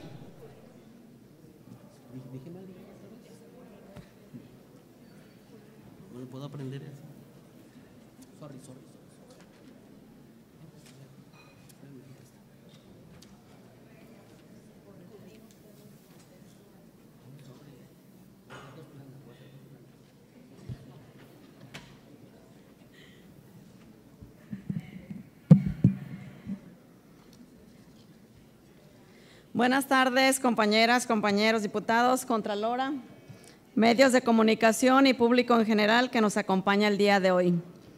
Contralora, antes que nada celebro que dentro de las pocas mujeres que ostentan un cargo de primer nivel en esta administración estatal, sea usted una de ellas. Felicidades. Sea usted una de ellas quien tiene una de las tareas de mayor importancia y conocimientos técnicos como lo es el, sistema de control, evaluación, auditoría, fiscalización interna de la Administración Pública del Estado. Esto con efectos preventivos, correctivos, en su caso sanciones, sancionadores, ello con el propósito de vigilar el correcto ejercicio del gasto público estatal y su congruencia con los presupuestos de egresos, y los programas institucionales autorizados, una tarea nada fácil y máxime con el desaseo, falta de transparencia y ocurrencias del, actual gobierno estatal. Contralora, Según la Ley de Administración Pública en el Estado de Colima, le corresponde vigilar el cumplimiento por parte de la Administración Pública del Estado de las disposiciones en materia de planeación, control interno, presupuestación, ingresos, financiamiento, inversión, deuda, uso y aprovechamiento de los bienes muebles e inmuebles, propiedad de la Administración Pública, así como los acuerdos y convenios celebrados entre la Federación y la Administración Pública del Estado, de donde se deriven fondos federales y de la administración pública estatal con los municipios de la entidad de donde se derive la inversión de fondos estatales, por lo que le pregunto, ¿qué tipos de control se llevan a cabo para que se le dé el uso debido a los fondos que manda la federación? Dígame, ¿estamos exentos de observaciones de la Auditoría Superior de la Federación? En el, pasado estado de resultado de la auditoría al Poder Ejecutivo en el órgano estatal de fiscalización, se recomendaba a la administración que representa se realizara una efectiva calendarización de pagos, así como una matriz de los beneficios de los proyectos de gobierno del Estado. Pero esto para que la administración cuente con una debida programación, por lo que le pregunto, Contralora. ¿Se ha realizado la calendarización de pagos? ¿Existe una matriz de costo-beneficio de los proyectos de gobierno del Estado? En pocas palabras, se le ha dado seguimiento a las observaciones realizadas por el OSAFIG. Por otra parte, Contralora, derivado que dentro de sus responsabilidades se encuentran el de vigilar el uso que se le dé a los bienes muebles e inmuebles de la administración pública, y la población nos ha mencionado que es notorio el uso de vehículos oficiales en asuntos personales, así como el alto número de elementos de seguridad realizando actividades de choferes y escoltas de varios servidores públicos. Y por eso le pregunto, ¿existen elementos de seguridad ciudadano cuidando a los servidores públicos? ¿Cuántos son? Los vehículos oficiales se encuentran en resguardo los fines de semana o los servidores públicos los utilizan los fines de semana. ¿Cuántos vehículos se adquieren con recursos destinados a la seguridad pública y que se encuentran realizando otras actividades? Al hablar de licitaciones públicas convocadas por diferentes dependencias y al existir presencia en los comités y subcomités de las adquisiciones en la Secretaría de Administración y Gestión Pública, en el Secretariado Ejecutivo del Sistema Estatal de Seguridad Pública, en la Secretaría de Educación, en la Secretaría de Salud, en el Instituto Colimense de las Mujeres, en CONALEP, en la CIAPACOB, en el DIF estatal, en la Comisión Estatal del Agua, en el COINFED y en el IFOCON le cuestiono. ¿Podría detallar las licitaciones en que se tuvieron participación en el sistema de salud y seguridad pública? ¿Qué monto fue ejercido por adjudicaciones directa o invitación? ¿Cuántas empresas no colimenses fueron beneficiadas en licitaciones públicas? A través del presupuesto de egresos del Gobierno del Estado, otorga subsidio a diversas organizaciones en sociedad civil, organizaciones que atienden diversas problemáticas, principalmente de atención a grupos vulnerables. Estas son acompañadas y de alguna manera vigiladas por la Junta de Asistencia Privada y posteriormente auditadas aleatoriamente por el OSAFIG, pero hay otras asociaciones que se dedican a diversas actividades, por ejemplo, a la educación, que estas no son coordinadas por la Junta de Asistencia Privada y que sí reciben tantos recursos federales como estatales para su operación. ¿Recomendaría que los AFIG les realice una auditoría? Al existir un sistema anticorrupción y siendo el combate a la corrupción uno de los compromisos fundamentales asumidos por el gobernador del Estado, el licenciado José Ignacio Peralta Sánchez, resulta fundamental que esta dependencia brinde buenos estados y materialice actos para combatir, sancionar, erradicar prácticas que afecten, que afecten el buen desempeño del servicio público en la entidad, hasta que en estos momentos es poco o nulo el trabajo que se percibe en esta dependencia en este tenor me permito formularle las siguientes preguntas que considero de interés y agradecería su respuesta. ¿Cuántas denuncias y contra qué dependencias tienen ustedes en trámite? Le pregunto, ¿se han detectado malos manejos en el uso de recursos públicos estatales o federalizados? Y en caso afirmativo, ¿qué ha ocurrido con esto? Finalmente, Contralora, tenemos conocimiento de, de un tema que me preocupa junto con mis compañeros del Grupo Parlamentario de Acción Nacional. La Secretaría de la Función Pública ha generado cerca de 90 observaciones por diversas irregularidades y que obligan a su gobierno a reintegrar a la tesorería de la federación recursos por cerca de 450 millones de pesos a la federación. ¿Qué nos puede decir de ello? Las responsables de las faltas cometidas siguen trabajando en la administración estatal. ¿Se inició algún tipo de procedimiento interno a estos trabajadores? Recordándole, Contralora, que está bajo protesta de decir verdad. Es cuanto, diputada presidenta. Gracias, Muchas gracias. diputada.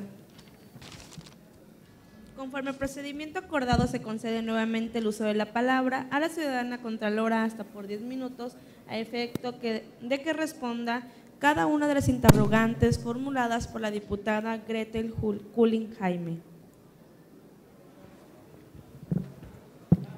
Muchas gracias, diputada. Bueno, trataré de darle respuesta al- a los cuestionamientos que está mencionando.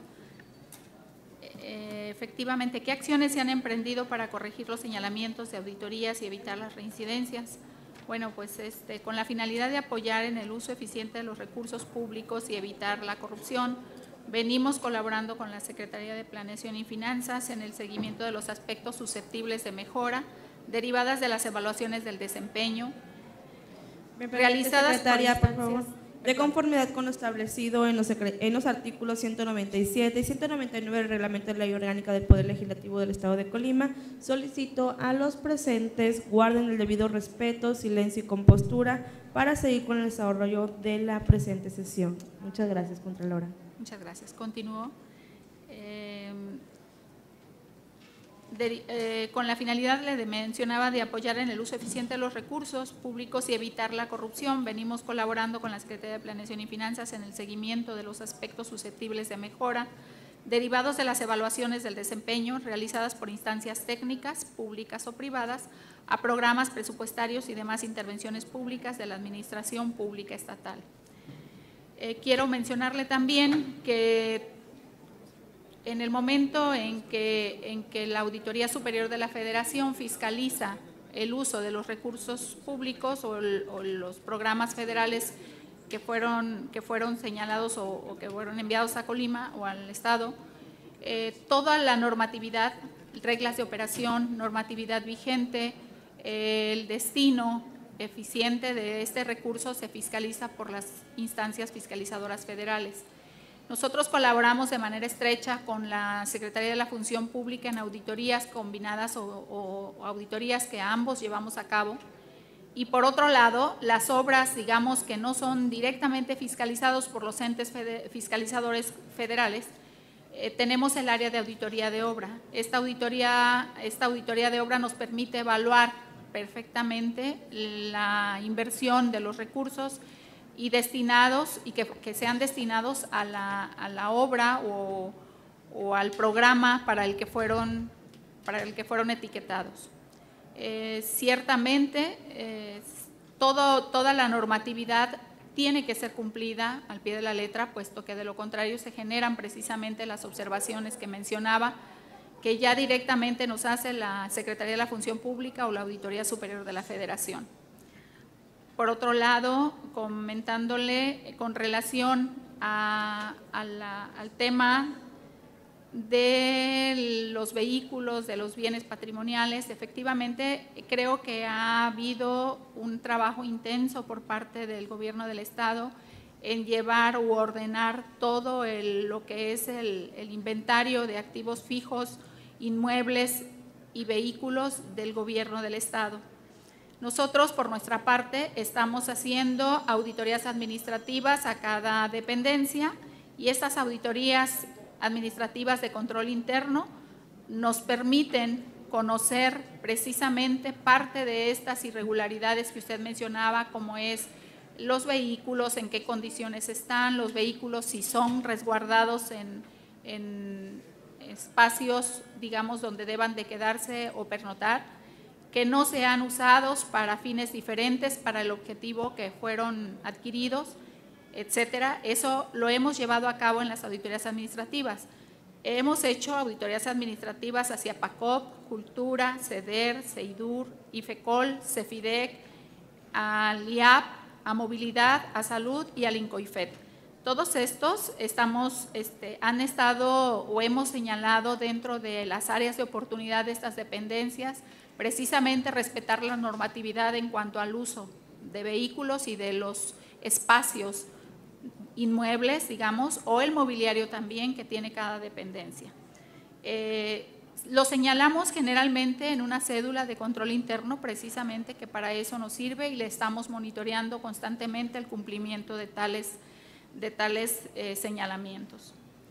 Eh, ¿Qué hacemos o cómo estamos trabajando con municipios con relación precisamente también al cumplimiento de, de que los recursos se ejerzan de manera ordenada?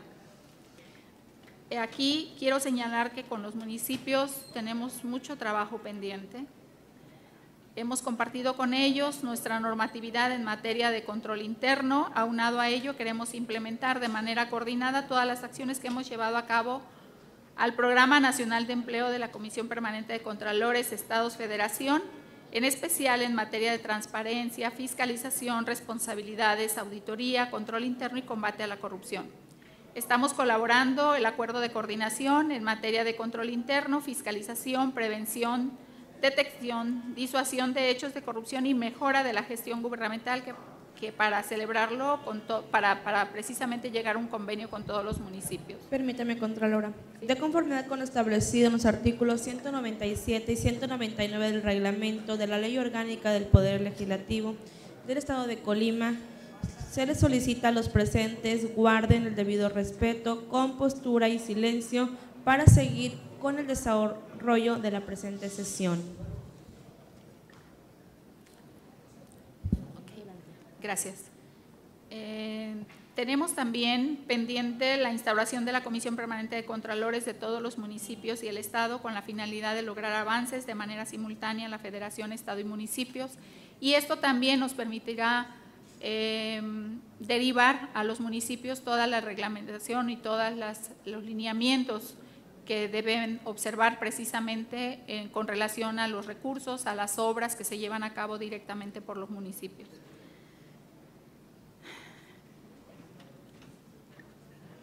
Aquí quisiera ver una, una, diapositiva, que es la 8 y la 9, para ver cuál es el origen de las 252 quejas presentadas durante este año en la Contraloría General del Estado. ¿Sí? 58 denuncias han sido presentadas por ciudadanos. 126 denuncias se derivan de las promociones de responsabilidad administrativa sancionatoria como resultado de observaciones en auditorías que la Auditoría Superior de la Federación realiza al Gobierno del Estado de Colima. No obstante, y dentro de la primera entrega de los informes que ya les mencionaba, los informes individuales de auditoría formalmente, se han notificado 46 promociones de responsabilidad administrativa sancionatoria. 39 han sido presentadas por conducto e intervención de la Secretaría de la Función Pública.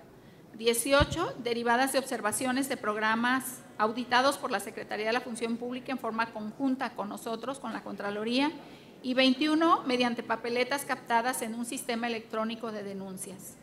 29 de ellas han sido presentadas por observaciones en auditoría que realizó el órgano superior de auditoría y fiscalización gubernamentales del Estado de Colima. Estas son las que hacía usted mención, que las observaciones que ha hecho el, órgano superior de auditoría y fiscalización gubernamental del Estado de Colima nos ha derivado 29 expedientes de faltas administrativas no graves correspondientes al ejercicio o al año, a la cuenta pública 2017. Muchas gracias, Contralora. Tiene la palabra la diputada Gretel Culling Jaime para realizar alguna réplica.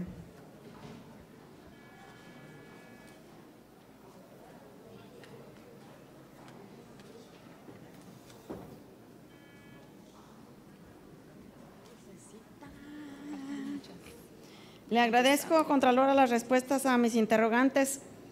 Ante lo expuesto por usted, las respuestas a mis preguntas y a las de mis compañeros y compañeras, en verdad solo me queda por decirle que hay mucho por hacer, que se debe de buscar simplificar las políticas públicas de control interno de la administración estatal, un papel complicado, Contralora, en el cual le deseo éxito. Muchas gracias. Sin duda que las, que Contralorías representan un órgano importante de apoyo para cualquier organización que se precie de querer hacer bien las cosas. No hay como los órganos internos de control para poder autocontrolarse, autoevaluarse, autoprevenir. Cualquier situación que pueda ser una irregularidad de manera especial, quiero felicitar a la Contralora porque ha sido muy activa y dinámica para preparar todas las actividades, todas las estructuras, todos los órganos internos de control en diversas dependencias y organismos descentralizados sobre todo lo que se refiere al sistema estatal anticorrupción. El día de hoy me sorprende lo que señala Contralora en verdad de lo que nos explica es gratificante escuchar que se esté dando un debido seguimiento al uso de los recursos públicos según usted lo manifiesta. Entonces, no veremos el día de mañana observaciones del órgano fiscalizador. El día de mañana no veremos las necesidades de adquirir nuevos créditos ni endeudamientos. Me es grato saber que el Congreso del Estado no recibirá propuestas de más endeudamiento, dado que si las cosas son como usted lo menciona, se está dando buen uso a los recursos públicos, tanto estatales como federales. Enhorabuena. Muchas gracias. Gracias.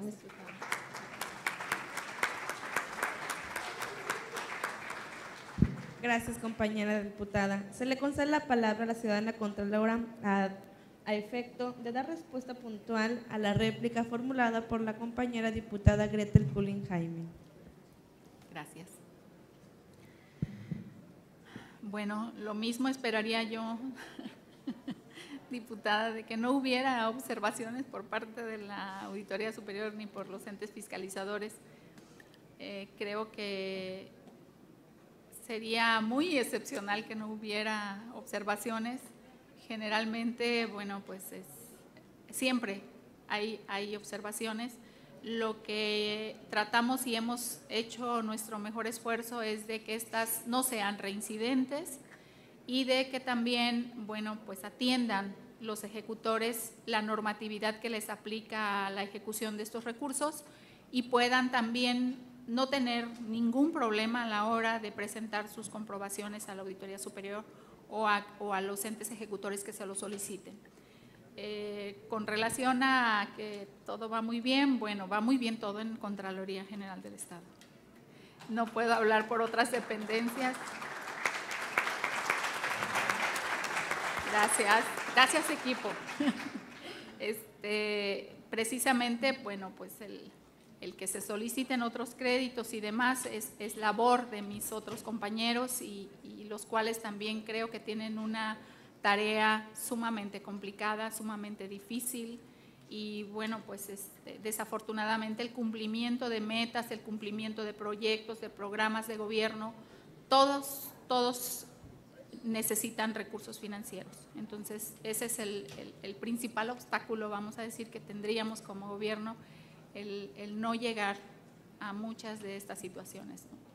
Muchas gracias, diputada. Gracias, Contralora. Tiene la palabra la diputada Gretel Culin Jaime hasta por tres minutos a fin de cerrar su intervención. Muchas gracias, diputada.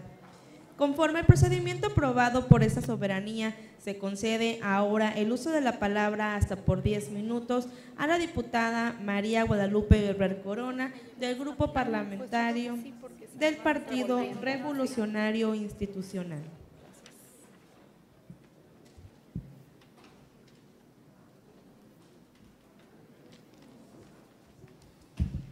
Con la venia de la presidencia. Adelante, diputada. Muy buenas tardes, tengan todos y todas las presentes. Saludo de manera muy especial a la Contralora Águeda Catalina Solano Pérez, Bienvenida a su casa. Muchas gracias. Usted como titular de la Contraloría General del Gobierno del Estado de Colima. La felicito, yo también coincido por todo ese trabajo que ha venido realizando y por ser una de las mujeres que encabezan la administración pública estatal, teniendo a su cargo una de las labores más relevantes para la población colimense. Pero también Aprecio la intervención de mi compañera diputada Gretel Kulin y su preocupación por lo que dice podría ser la utilización irregular de choferes para asuntos ajenos a las dependencias. Qué bueno que así sea y que me imagino buscará que se sancione también el uso no solo del personal, sino de los vehículos oficiales para asuntos ajenos a su debido uso. Hay quienes señalan que incluso se han usado para fines político-electorales. Me pronuncio por apoyar que cualquier mal uso pues se castigue parejo en todos los casos. Está claro que el origen constitucional y legal de órgano que usted encabeza tiene un objetivo específico, prevenir cualquier anomalía en la utilización de los recursos públicos que son entregados a las entidades estatales para su funcionamiento. Dicho de otra manera, su función es el combate a la corrupción, pues la Contraloría General del Estado es responsable del control, evaluación, auditoría y fiscalización interna de la Administración Pública Centralizada y paraestatal del Estado.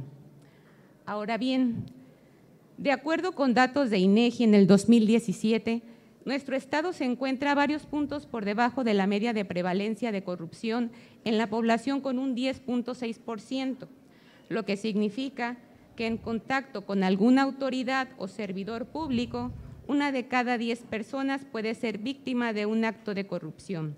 ¿Me permite, diputada? Una disculpa. De conformidad con lo establecido en los artículos 197 y 199 del reglamento de la Ley Orgánica del Poder Legislativo del Estado de Colima, nuevamente solicito a los presentes guarden respeto, silencio y compostura para seguir con el desarrollo de la presente sesión. Una disculpa, diputada. Adelante. Gracias. Y si bien estamos mejor posicionados que la gran mayoría de los estados de la República, uno de cada diez es una cifra elevada que preocupa y pues nos preocupa mucho. También estamos conscientes de que existen formas de corrupción que escapan a las funciones de la Contraloría. Sin embargo, en lo que se refiere a dinero público, la responsabilidad es total, ya que en teoría, ejerciendo las funciones que corresponden a una Contraloría a fondo, no habría lugar a corrupción por malversación de fondos.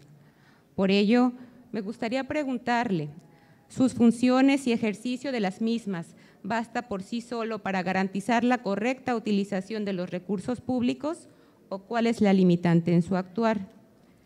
En su análisis, ¿Cuáles son las formas más comunes de malversación de recursos públicos? Actualmente existe un plan que identifique los riesgos más comunes de malversación. Como parte de sus funciones, ¿ha realizado alguna auditoría o alguna, alguna dependencia de gobierno del Estado? ¿Y cuáles fueron esos resultados?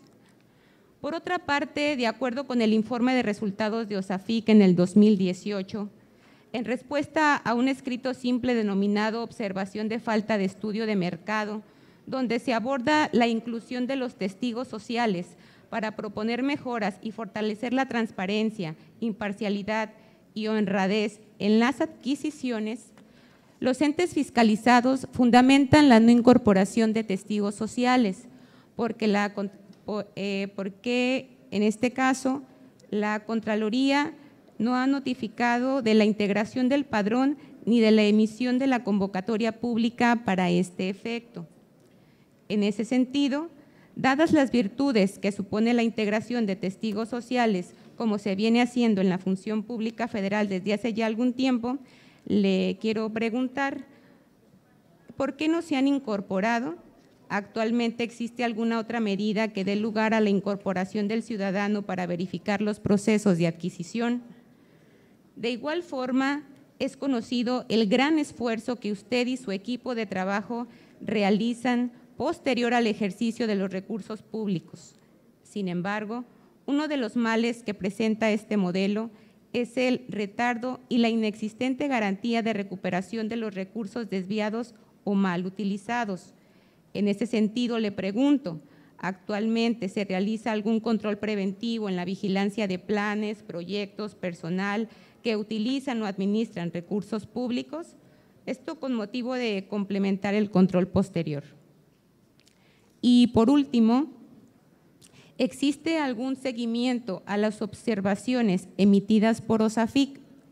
Le pregunto porque el OSAFIC ha observado el incumplimiento a la ley de adquisiciones, arrendamientos y servicios del sector público del Estado de Colima en los artículos 44 referente a las excepciones de la licitación pública y 27 donde se estipula que los entes gubernamentales deberán realizar una investigación de mercado sobre las condiciones del bien, arrendamiento o servicio objeto de la contratación y del precio estimado basado en la información que se obtenga en la propia dependencia o entidad, la cual no siempre se realiza, atentando a los principios de eficacia y eficiencia.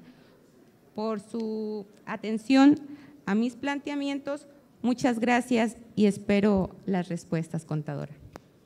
Muchas gracias, diputada.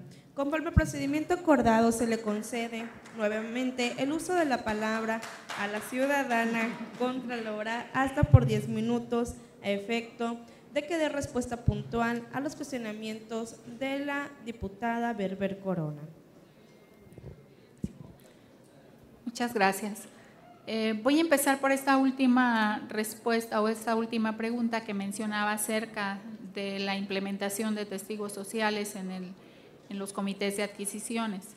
Efectivamente, creo que la, ley de adquisiciones fue una de las, de las leyes que se, que se implementaron al inicio de esta administración y que ha buscado precisamente eh, cumplimentar todo lo referente al control que pueda haber en las adquisiciones. Y una de ellas o un punto importante es precisamente lo de testigos sociales. Testigos sociales, eh, nosotros tenemos como tarea la Contraloría de emitir la convocatoria correspondiente y a la vez también registrar o tener el padrón de testigos sociales. Quiero mencionarle que la convocatoria sí fue ya publicada por, la Contraloría General del Estado, eh, de acuerdo a establecido a la Ley de Adquisiciones, Arrendamientos y Servicios del Sector Público del Estado de Colima y su reglamento. Estamos impulsando la participación de esta figura como participantes activos en los procedimientos de contratación y arrendamiento de bienes y servicios, y requerimos crear algunos mecanismos que permitan su implementación con éxito y eficacia y hemos venido trabajando en ello. Porque nos llevó un tiempo a este, implementar o tratar de ver todo esto? Porque se han llevado a cabo o hemos llevado a cabo diferentes investigaciones de cómo funcionan los testigos sociales en diferentes estados, desde la función pública y los diferentes estados que ya implementaron este, este digamos, este proyecto o programa de testigos sociales. Y a la vez también, como le mencionaba anteriormente a la diputada, eh, va de la mano con una cuestión financiera también, porque, bueno, parte de los testigos sociales deben de regirse o pagarles a través de un tabulador, que este tabulador tiene que ser autorizado y, con, y, considerado dentro del, del presupuesto de egresos. Entonces, pues también es una, una limitante que, bueno, nos ha llevado a concretar totalmente esta figura de los testigos sociales. Sin embargo, bueno, pues ya se publicó la convocatoria y estamos recepcionando las solicitudes a través de la Contraloría General. Se requiere, digamos, nosotros hemos establecido dentro de esta convocatoria o dentro de la ley se establece que se requiere la participación de un testigo social en las contrataciones cuyo monto rebase el equivalente a 50 mil unidades de medida actualizada, la, unidad, la UMA equivale a 84.49, por lo tanto, eh, las contrataciones que superan una cantidad de 4.224.500 pesos eh, deben de tener o deben de solicitar la presencia de un testigo social dependiendo del área que esté solicitando o los bienes eh, o servicios que se estén solicitando a través del comité. Comentar que, que finalizamos la investigación de mercado correspondiente para integrar la propuesta de tabulador de pago de los testigos sociales. Gestionamos con la Secretaría de Planeación y Finanzas para que sea considerado, como le mencionaba, dentro del presupuesto de egresos.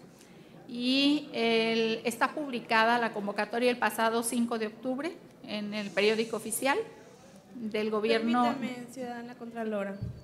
Con fundamento en los artículos 197 y 199 del reglamento de la Ley Orgánica del Poder Legislativo del Estado de Colima, ruego a los presentes por última ocasión que ocupen un asiento, permanezcan sentados y sentadas y guarden el debido respeto, silencio y compostura.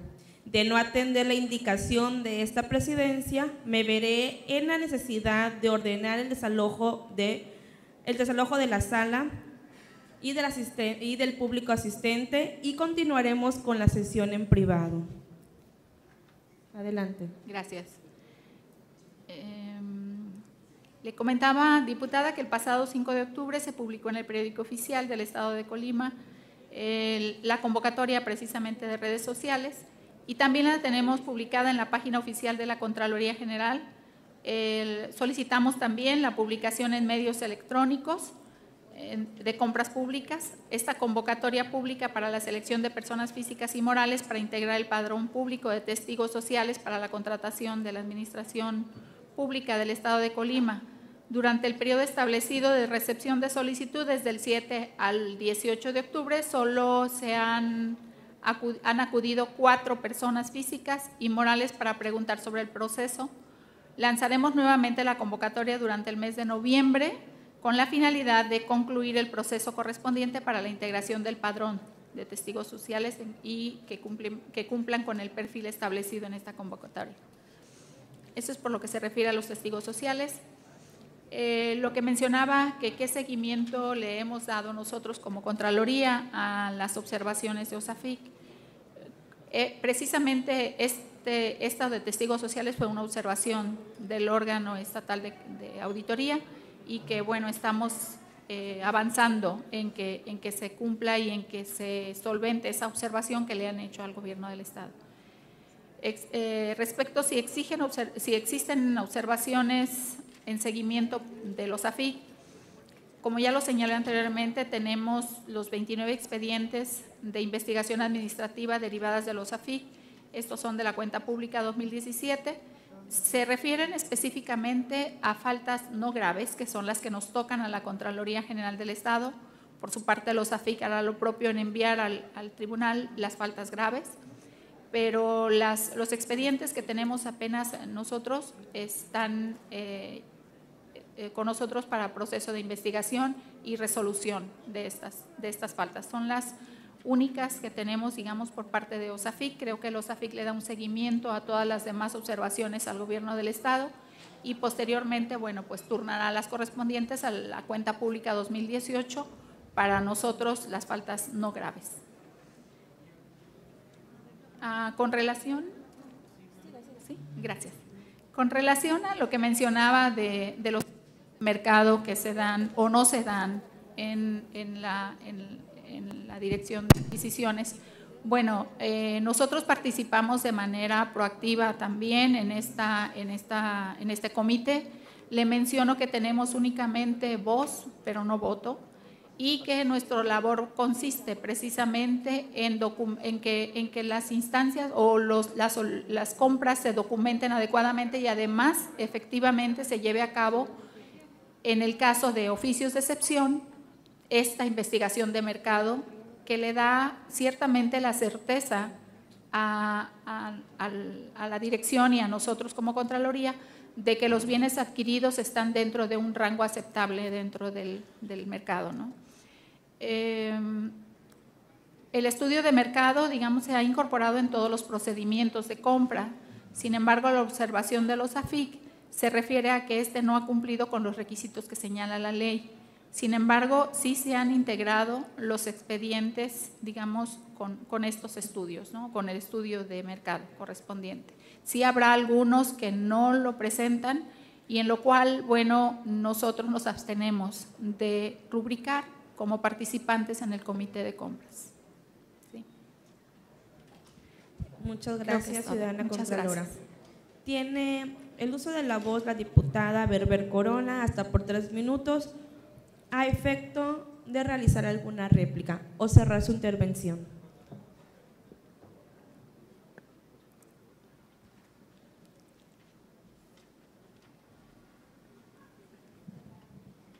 Si yo termino, pues no nos queda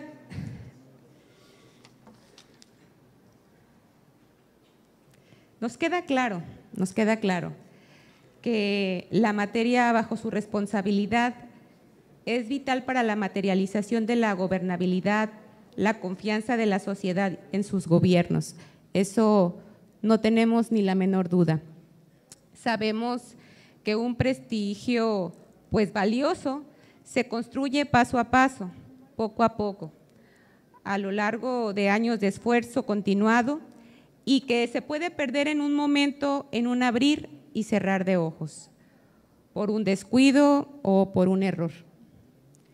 Es precisamente evitar esos errores o descuidos, ya no digamos actos dolosos, lo que es el corazón de su función. No solo por la importancia de garantizar que los recursos públicos se apliquen conforme a las normas vigentes, lo que ya es necesario, sino por el impacto negativo para la sociedad que tienen los señalamientos desvío y mal uso de los recursos. Por eso reconozco, contadora, y valoro su trabajo, pero también valoro y reconozco el trabajo de ese equipo de trabajo que la respalda en todo momento y que está siempre con mucho compromiso y responsabilidad actuando en sus tareas día con día. Muchísimas gracias. Es cuanto. Muchas gracias, diputada. En observancia del procedimiento determinado por soberanía, continuamos con el orden del día, por lo que se le concede el uso de la palabra hasta por 10 minutos a la diputada Jazmín García Ramírez del Grupo Parlamentario de Morena.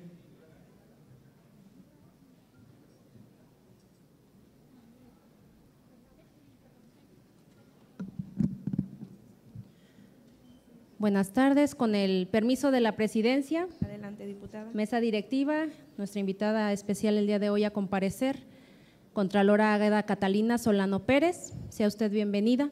Asimismo, con el permiso de las y los compañeros diputadas, diputados, personal que nos acompaña, funcionarios de distintas áreas del Poder Ejecutivo, medios de comunicación y público en general. Saludo con afecto a la titular de la Contraloría General de Gobierno del Estado, y asimismo solicito respetuosamente que los primeros minutos de la réplica se compacten a efecto de solamente eh, posterior a la respuesta de la Contralora podamos concluir la participación. Debo señalar que de conformidad con lo establecido en el acuerdo parlamentario aprobado en, la primer, en el primer periodo, eh, en la primera sesión ordinaria de fecha 10 de octubre de 2019, se estableció como temática la ampliación del cuarto informe de gobierno, dentro del cual pues se establecen las eh, informaciones que como Contralora advirtió en el mismo.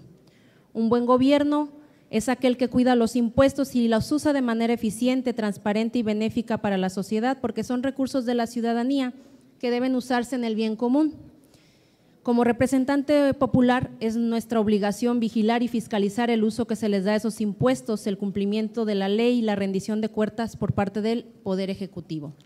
De ahí que la suscrita diputada Jazmín García, con todo respeto que me merecen las personas colaboradoras del Poder Ejecutivo, expresaré mis preocupaciones sobre la poca claridad del uso de los recursos públicos y el cumplimiento a la ley que eh, pude observar. Lo anterior, puesto que más allá de lo que dice el cuarto informe de gobierno eh, del Poder Ejecutivo, genera mayor interés lo que no se estableció en el mismo, pero que finalmente es parte de sus competencias. Y bueno, este ejercicio que se hace de las comparecencias, debo señalar que eh, no es un ejercicio único ni aislado, es una constante que se viene realizando durante todo el año, que hemos estado en funciones, la Contralora ya ha estado aquí acudiendo y asimismo ha, estado atendiendo algunas de las inquietudes que de forma eh, particular como diputada le hice llegar mediante oficios y que en tiempo y forma, sobre todo en tiempo, fueron hechas llegar las respuestas correctamente fundamentadas. Entonces, decir a la ciudadanía colimense que no es un ejercicio acabado la comparecencia, que cualquier otra situación que observemos puede continuar en un, en un diálogo constante y comunicación de Congreso del Estado con cualquiera de las áreas del Poder Ejecutivo. Sin embargo, al revisar el portal de transparencia del Poder Ejecutivo, fue sorprendente y cuestionable no encontrar las actualizaciones de la declaración patrimonial del titular de la Secretaría de Cultura y del secretario de Planeación y Finanzas, mismas que se encuentran renovadas hasta el 2017. En ese mismo portal cabe señalar que, en definitiva, no se encuentra ninguna declaración del secretario de Fomento Económico de nuestro Estado Reconozco que en mayo se exhortó a todos los funcionarios públicos a presentar su declaración patrimonial. Sin embargo, ¿por qué no se ha instado particularmente a los mencionados secretarios del gabinete estatal a que presenten sus declaraciones tres de tres y cumplan con lo establecido en la Ley de Transparencia e Información Pública del Estado de Colima? Y de haberlo hecho, preguntarle, Contralora, qué acciones ha tomado o tomará para subsanar dicha omisión. Lo anterior está basado de acuerdo a lo consultado en el portal de transparencia del Poder Ejecutivo de la propia Contraloría el día 24 de octubre de 2019 a las 15.54 horas. Al principio de mi intervención señalé la importancia de cuidar nuestros impuestos. Una forma de cuidarlos, pues es la inversión del tiempo, los recursos materiales, pero sobre todo los humanos que tiene este Estado. Desperdiciarlos implica perder la oportunidad de realizar más actividades en beneficio de la población. En este cuarto informe se da cuenta de 113 servidores que tomaron la capacitación para certificarse en el estándar de competencia de conocer llamado facilitación de la información en poder del sujeto obligado. Sin embargo, de estos 113 servidores públicos que tomaron dicha capacitación, solo 15 lograron obtener la certificación del estándar. Le pregunto, ¿cómo apoyará a las y los trabajadores en su dependencia para que puedan certificarse en los cursos de profesionalización que toman para que ejerzan mejor los recursos de Colima?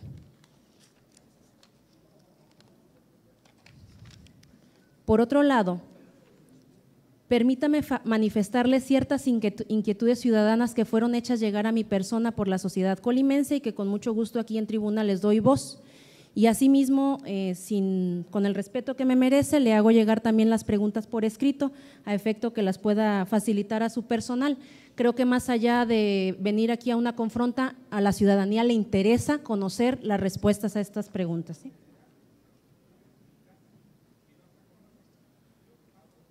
Muchas gracias. Y continúo entonces. La primera pregunta que nos hacen es, ¿qué han arrojado las auditorías de la dependencia a su cargo respecto al problema del Instituto de Pensiones del Estado de Colima? ¿Han encontrado anomalías y de haberlas encontrado, por qué motivo no se han sancionado a los responsables? También la población quiere saber, y con mucho gusto hacemos propias dichas inquietudes, ¿Cuáles son las tres dependencias del Poder Ejecutivo del Gobierno del Estado a las que se les han encontrado mayores irregularidades? Asimismo, ¿cuál dependencia de las que usted audita lleva mejor sus controles internos de conformidad con la normatividad y las auditorías, evaluaciones y estadísticas de la dependencia a su cargo? ¿Se ha dado seguimiento al gasto que ejerce el gobernador del Estado y la cantidad excesiva del personal dentro del Poder Ejecutivo? ¿Cuántos procedimientos penales ha iniciado la Contraloría a su cargo y se encuentran en curso por posibles actos de corrupción del personal que ha estado o está en funciones dentro del Poder Ejecutivo del Gobierno del Estado? Aquí abro un paréntesis porque bien es cierto, nos ha señalado en repetidas ocasiones con los compañeros y compañeras diputadas la importancia de los procesos administrativos. Sin embargo, en este caso no estoy solicitando procedimientos administrativos, sino penales.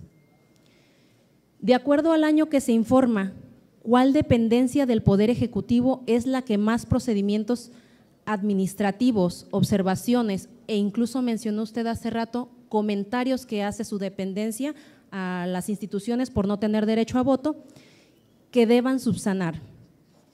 Finalmente, ¿Por qué y para qué se contrató a la empresa externa PricewaterhouseCoopers si existe la Contraloría a su digno cargo, las secretarías que propiamente tienen dicha función de lo que concierne a finanzas, así como la USAFIC e incluso ahorita pude percatarme de la Auditoría Superior de la Federación que ha estado en constante revisión.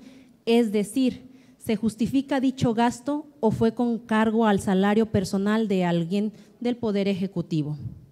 Estas preguntas son fundamentales para la transparencia en Colima, de enorme interés social. Espero sinceramente sus respuestas den certeza a las y los colimenses. Le reitero mi disposición para trabajar y sobre todo dentro de mis facultades colaborar en el mejoramiento de la administración pública. Es cuanto.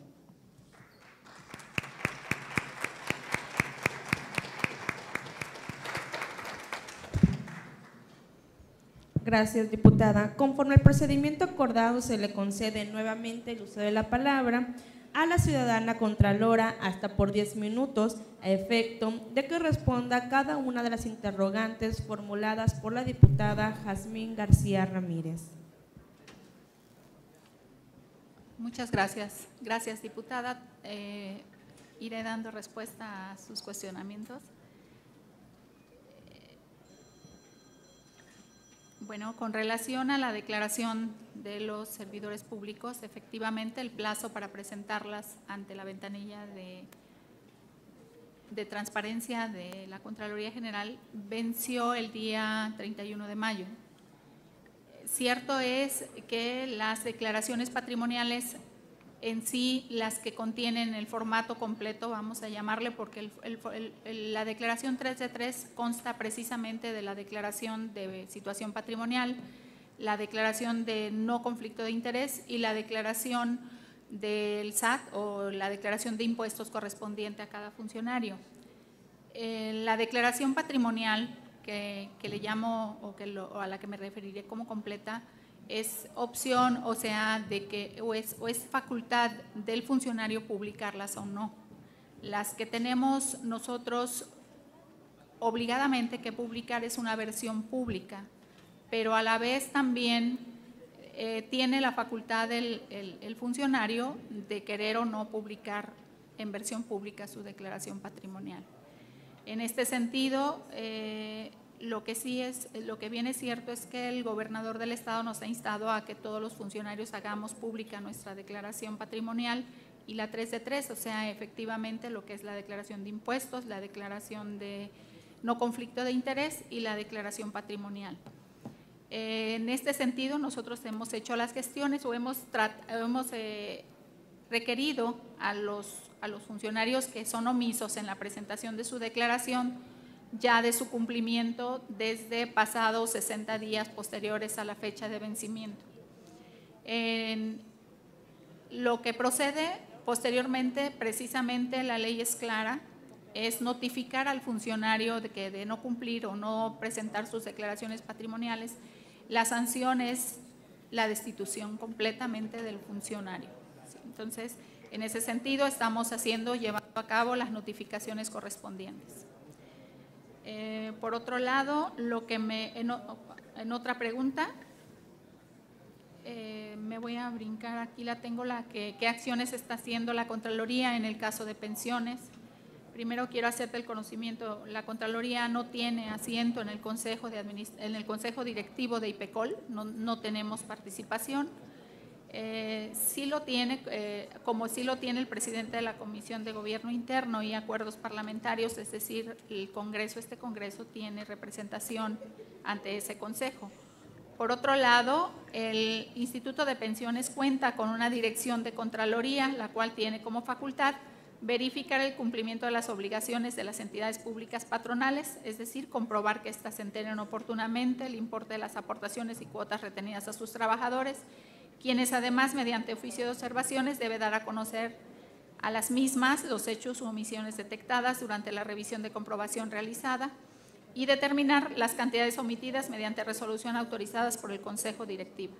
En esta, en esta tesitura, la dirección referida, o sea, la dirección de Contraloría en el caso de IPECOL, está facultada para determinar el monto de los créditos fiscales y las bases de su liquidación, fijados en cantidad líquida cuando conozca de hechos u omisiones que contengan incumplimiento a la ley de pensiones, relativa a la obligación de enterar las aportaciones y cuotas retenidas más sus accesorios. Así también debe iniciar los procedimientos de responsabilidad que se deriven de los incumplimientos en coordinación con la Dirección de Asuntos Jurídicos del propio IPECOL.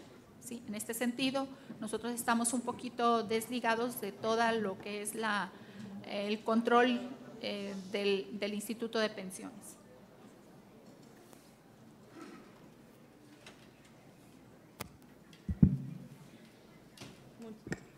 Aquí, eh, si me pregunta cuáles son las dependencias de mayores observaciones, bueno, eh, hemos encontrado, digamos, en, en, en dentro de, los organismos que hemos revisado, mayores incidencias en el Instituto Colimense de las Mujeres, en el Instituto de Atención a los Adultos Mayores, en los fideicomisos de promoción turística y en la Secretaría de Cultura. O sea, son, son las entidades, digamos, donde se han hecho más observaciones. Y las dependencias con menos observaciones, pues CEDESCOL, el ICIC, el DIF estatal, eh, pues, ¿cuáles otras?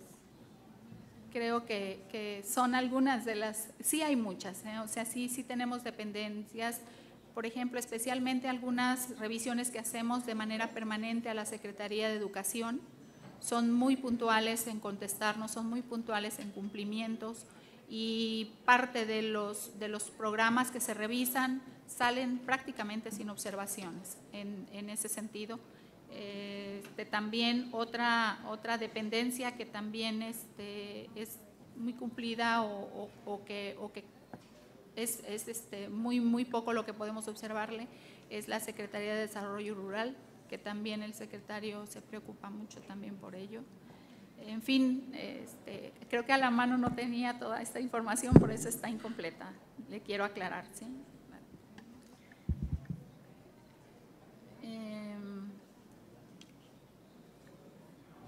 Bueno, en materia de control interno, dice las dependencias mejor evaluados y siempre se preocupan por la implementación del control interno. Bueno, pues le comentaba, es la Secretaría de Desarrollo Social, de Administración y Gestión Pública, la Secretaría General de Gobierno, el Instituto de Educación Estatal para Adultos, el CONALEP y el, el ISIC, que son de las dependencias donde hemos trabajado y donde verdaderamente hay un interés del titular por el cumplimiento de todos los lineamientos y y que tenemos de control interno, que se han establecido y que, y que han estado llevándolo a cabo. ¿no?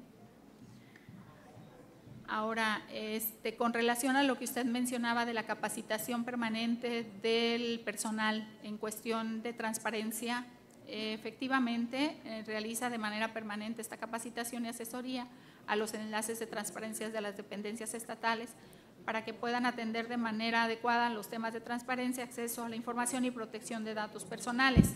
Esta, certificación que mencionaba, eh, tenemos programado también tener una segunda certificación. Invitamos a todos los entes municipales, para, estatales, a las dependencias del, gobierno, digamos, de, la administración centralizada, este, todas eh, son invitadas, digamos, a que, se, a que se anoten. Tenemos un número reducido de asientos porque es muy personalizada también la capacitación, pero de hecho es algo, uh, me decía, participan 20 y, este, y, se, y se certifican quizá menos de la mitad. Es que efectivamente es muy rigurosa la certificación y creo que eso también le da mucho más calidad a la certificación vienen de esta institución del Estado de Zacatecas a capacitarnos en este, en este aspecto. Y bueno, es un gasto también que nosotros erogamos con mucho gusto por parte de la, de la, de la Contraloría para que estos capacitadores vengan año con año.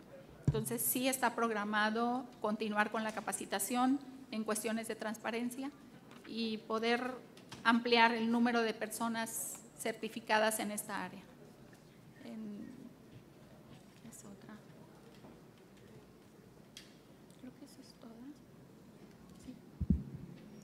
Muchas gracias. Tiene la palabra la diputada Jazmín García hasta por tres minutos a fin de que cierre su intervención.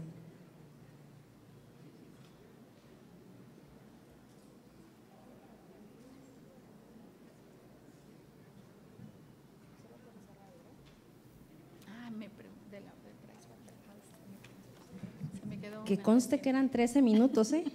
Bueno. Eh, en primer lugar, en relación a lo que usted manifestó, pedirle se actualice la plataforma en virtud de que sí existen algunas de las declaraciones y las mismas se señalan como reservadas. Luego, entonces, si el funcionario pretende reservarse su declaración, pues como usted lo manifiesta, si es de acuerdo a la ley, puede realizarlo, pero que sí se haga la, la, anotación pertinente a efecto de que la población no considere que hay un ocultamiento de la información, sino que es simple y sencillamente algo que se está reservando en virtud de los derechos propios del funcionario. Eh, ojalá que mejor atiendan lo que sí. señala el gobernador de publicarlo.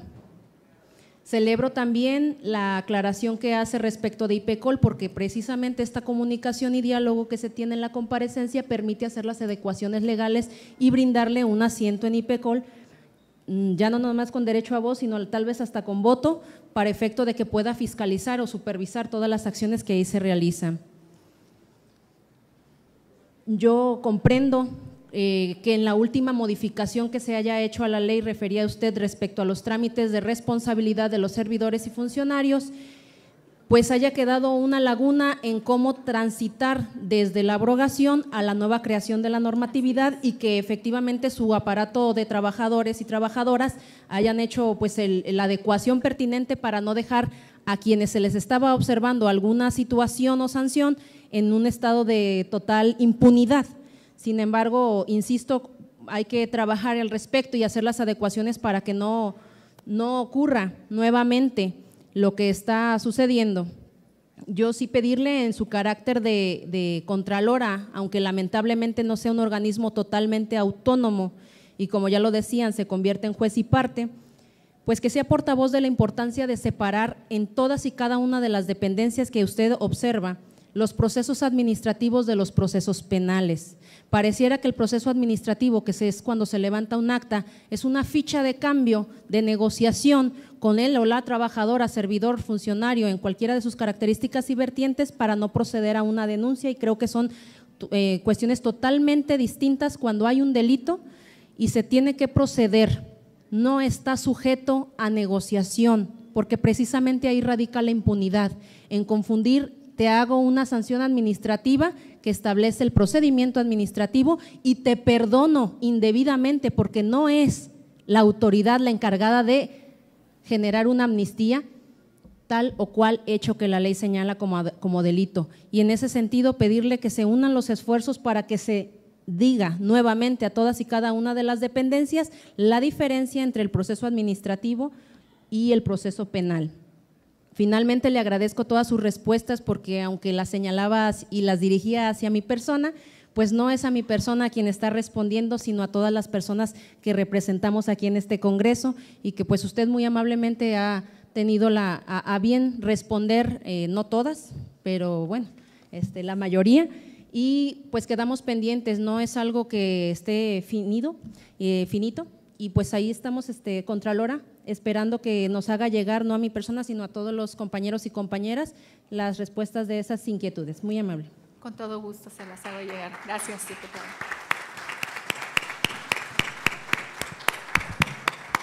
Muchas gracias, compañera diputada. Concluye esa comparecencia. Agradecemos la presencia de la Contralora General del Gobierno del Estado de Colima, por lo que solicito a la Comisión de Cortesía se sirva acompañarla al exterior de este recinto.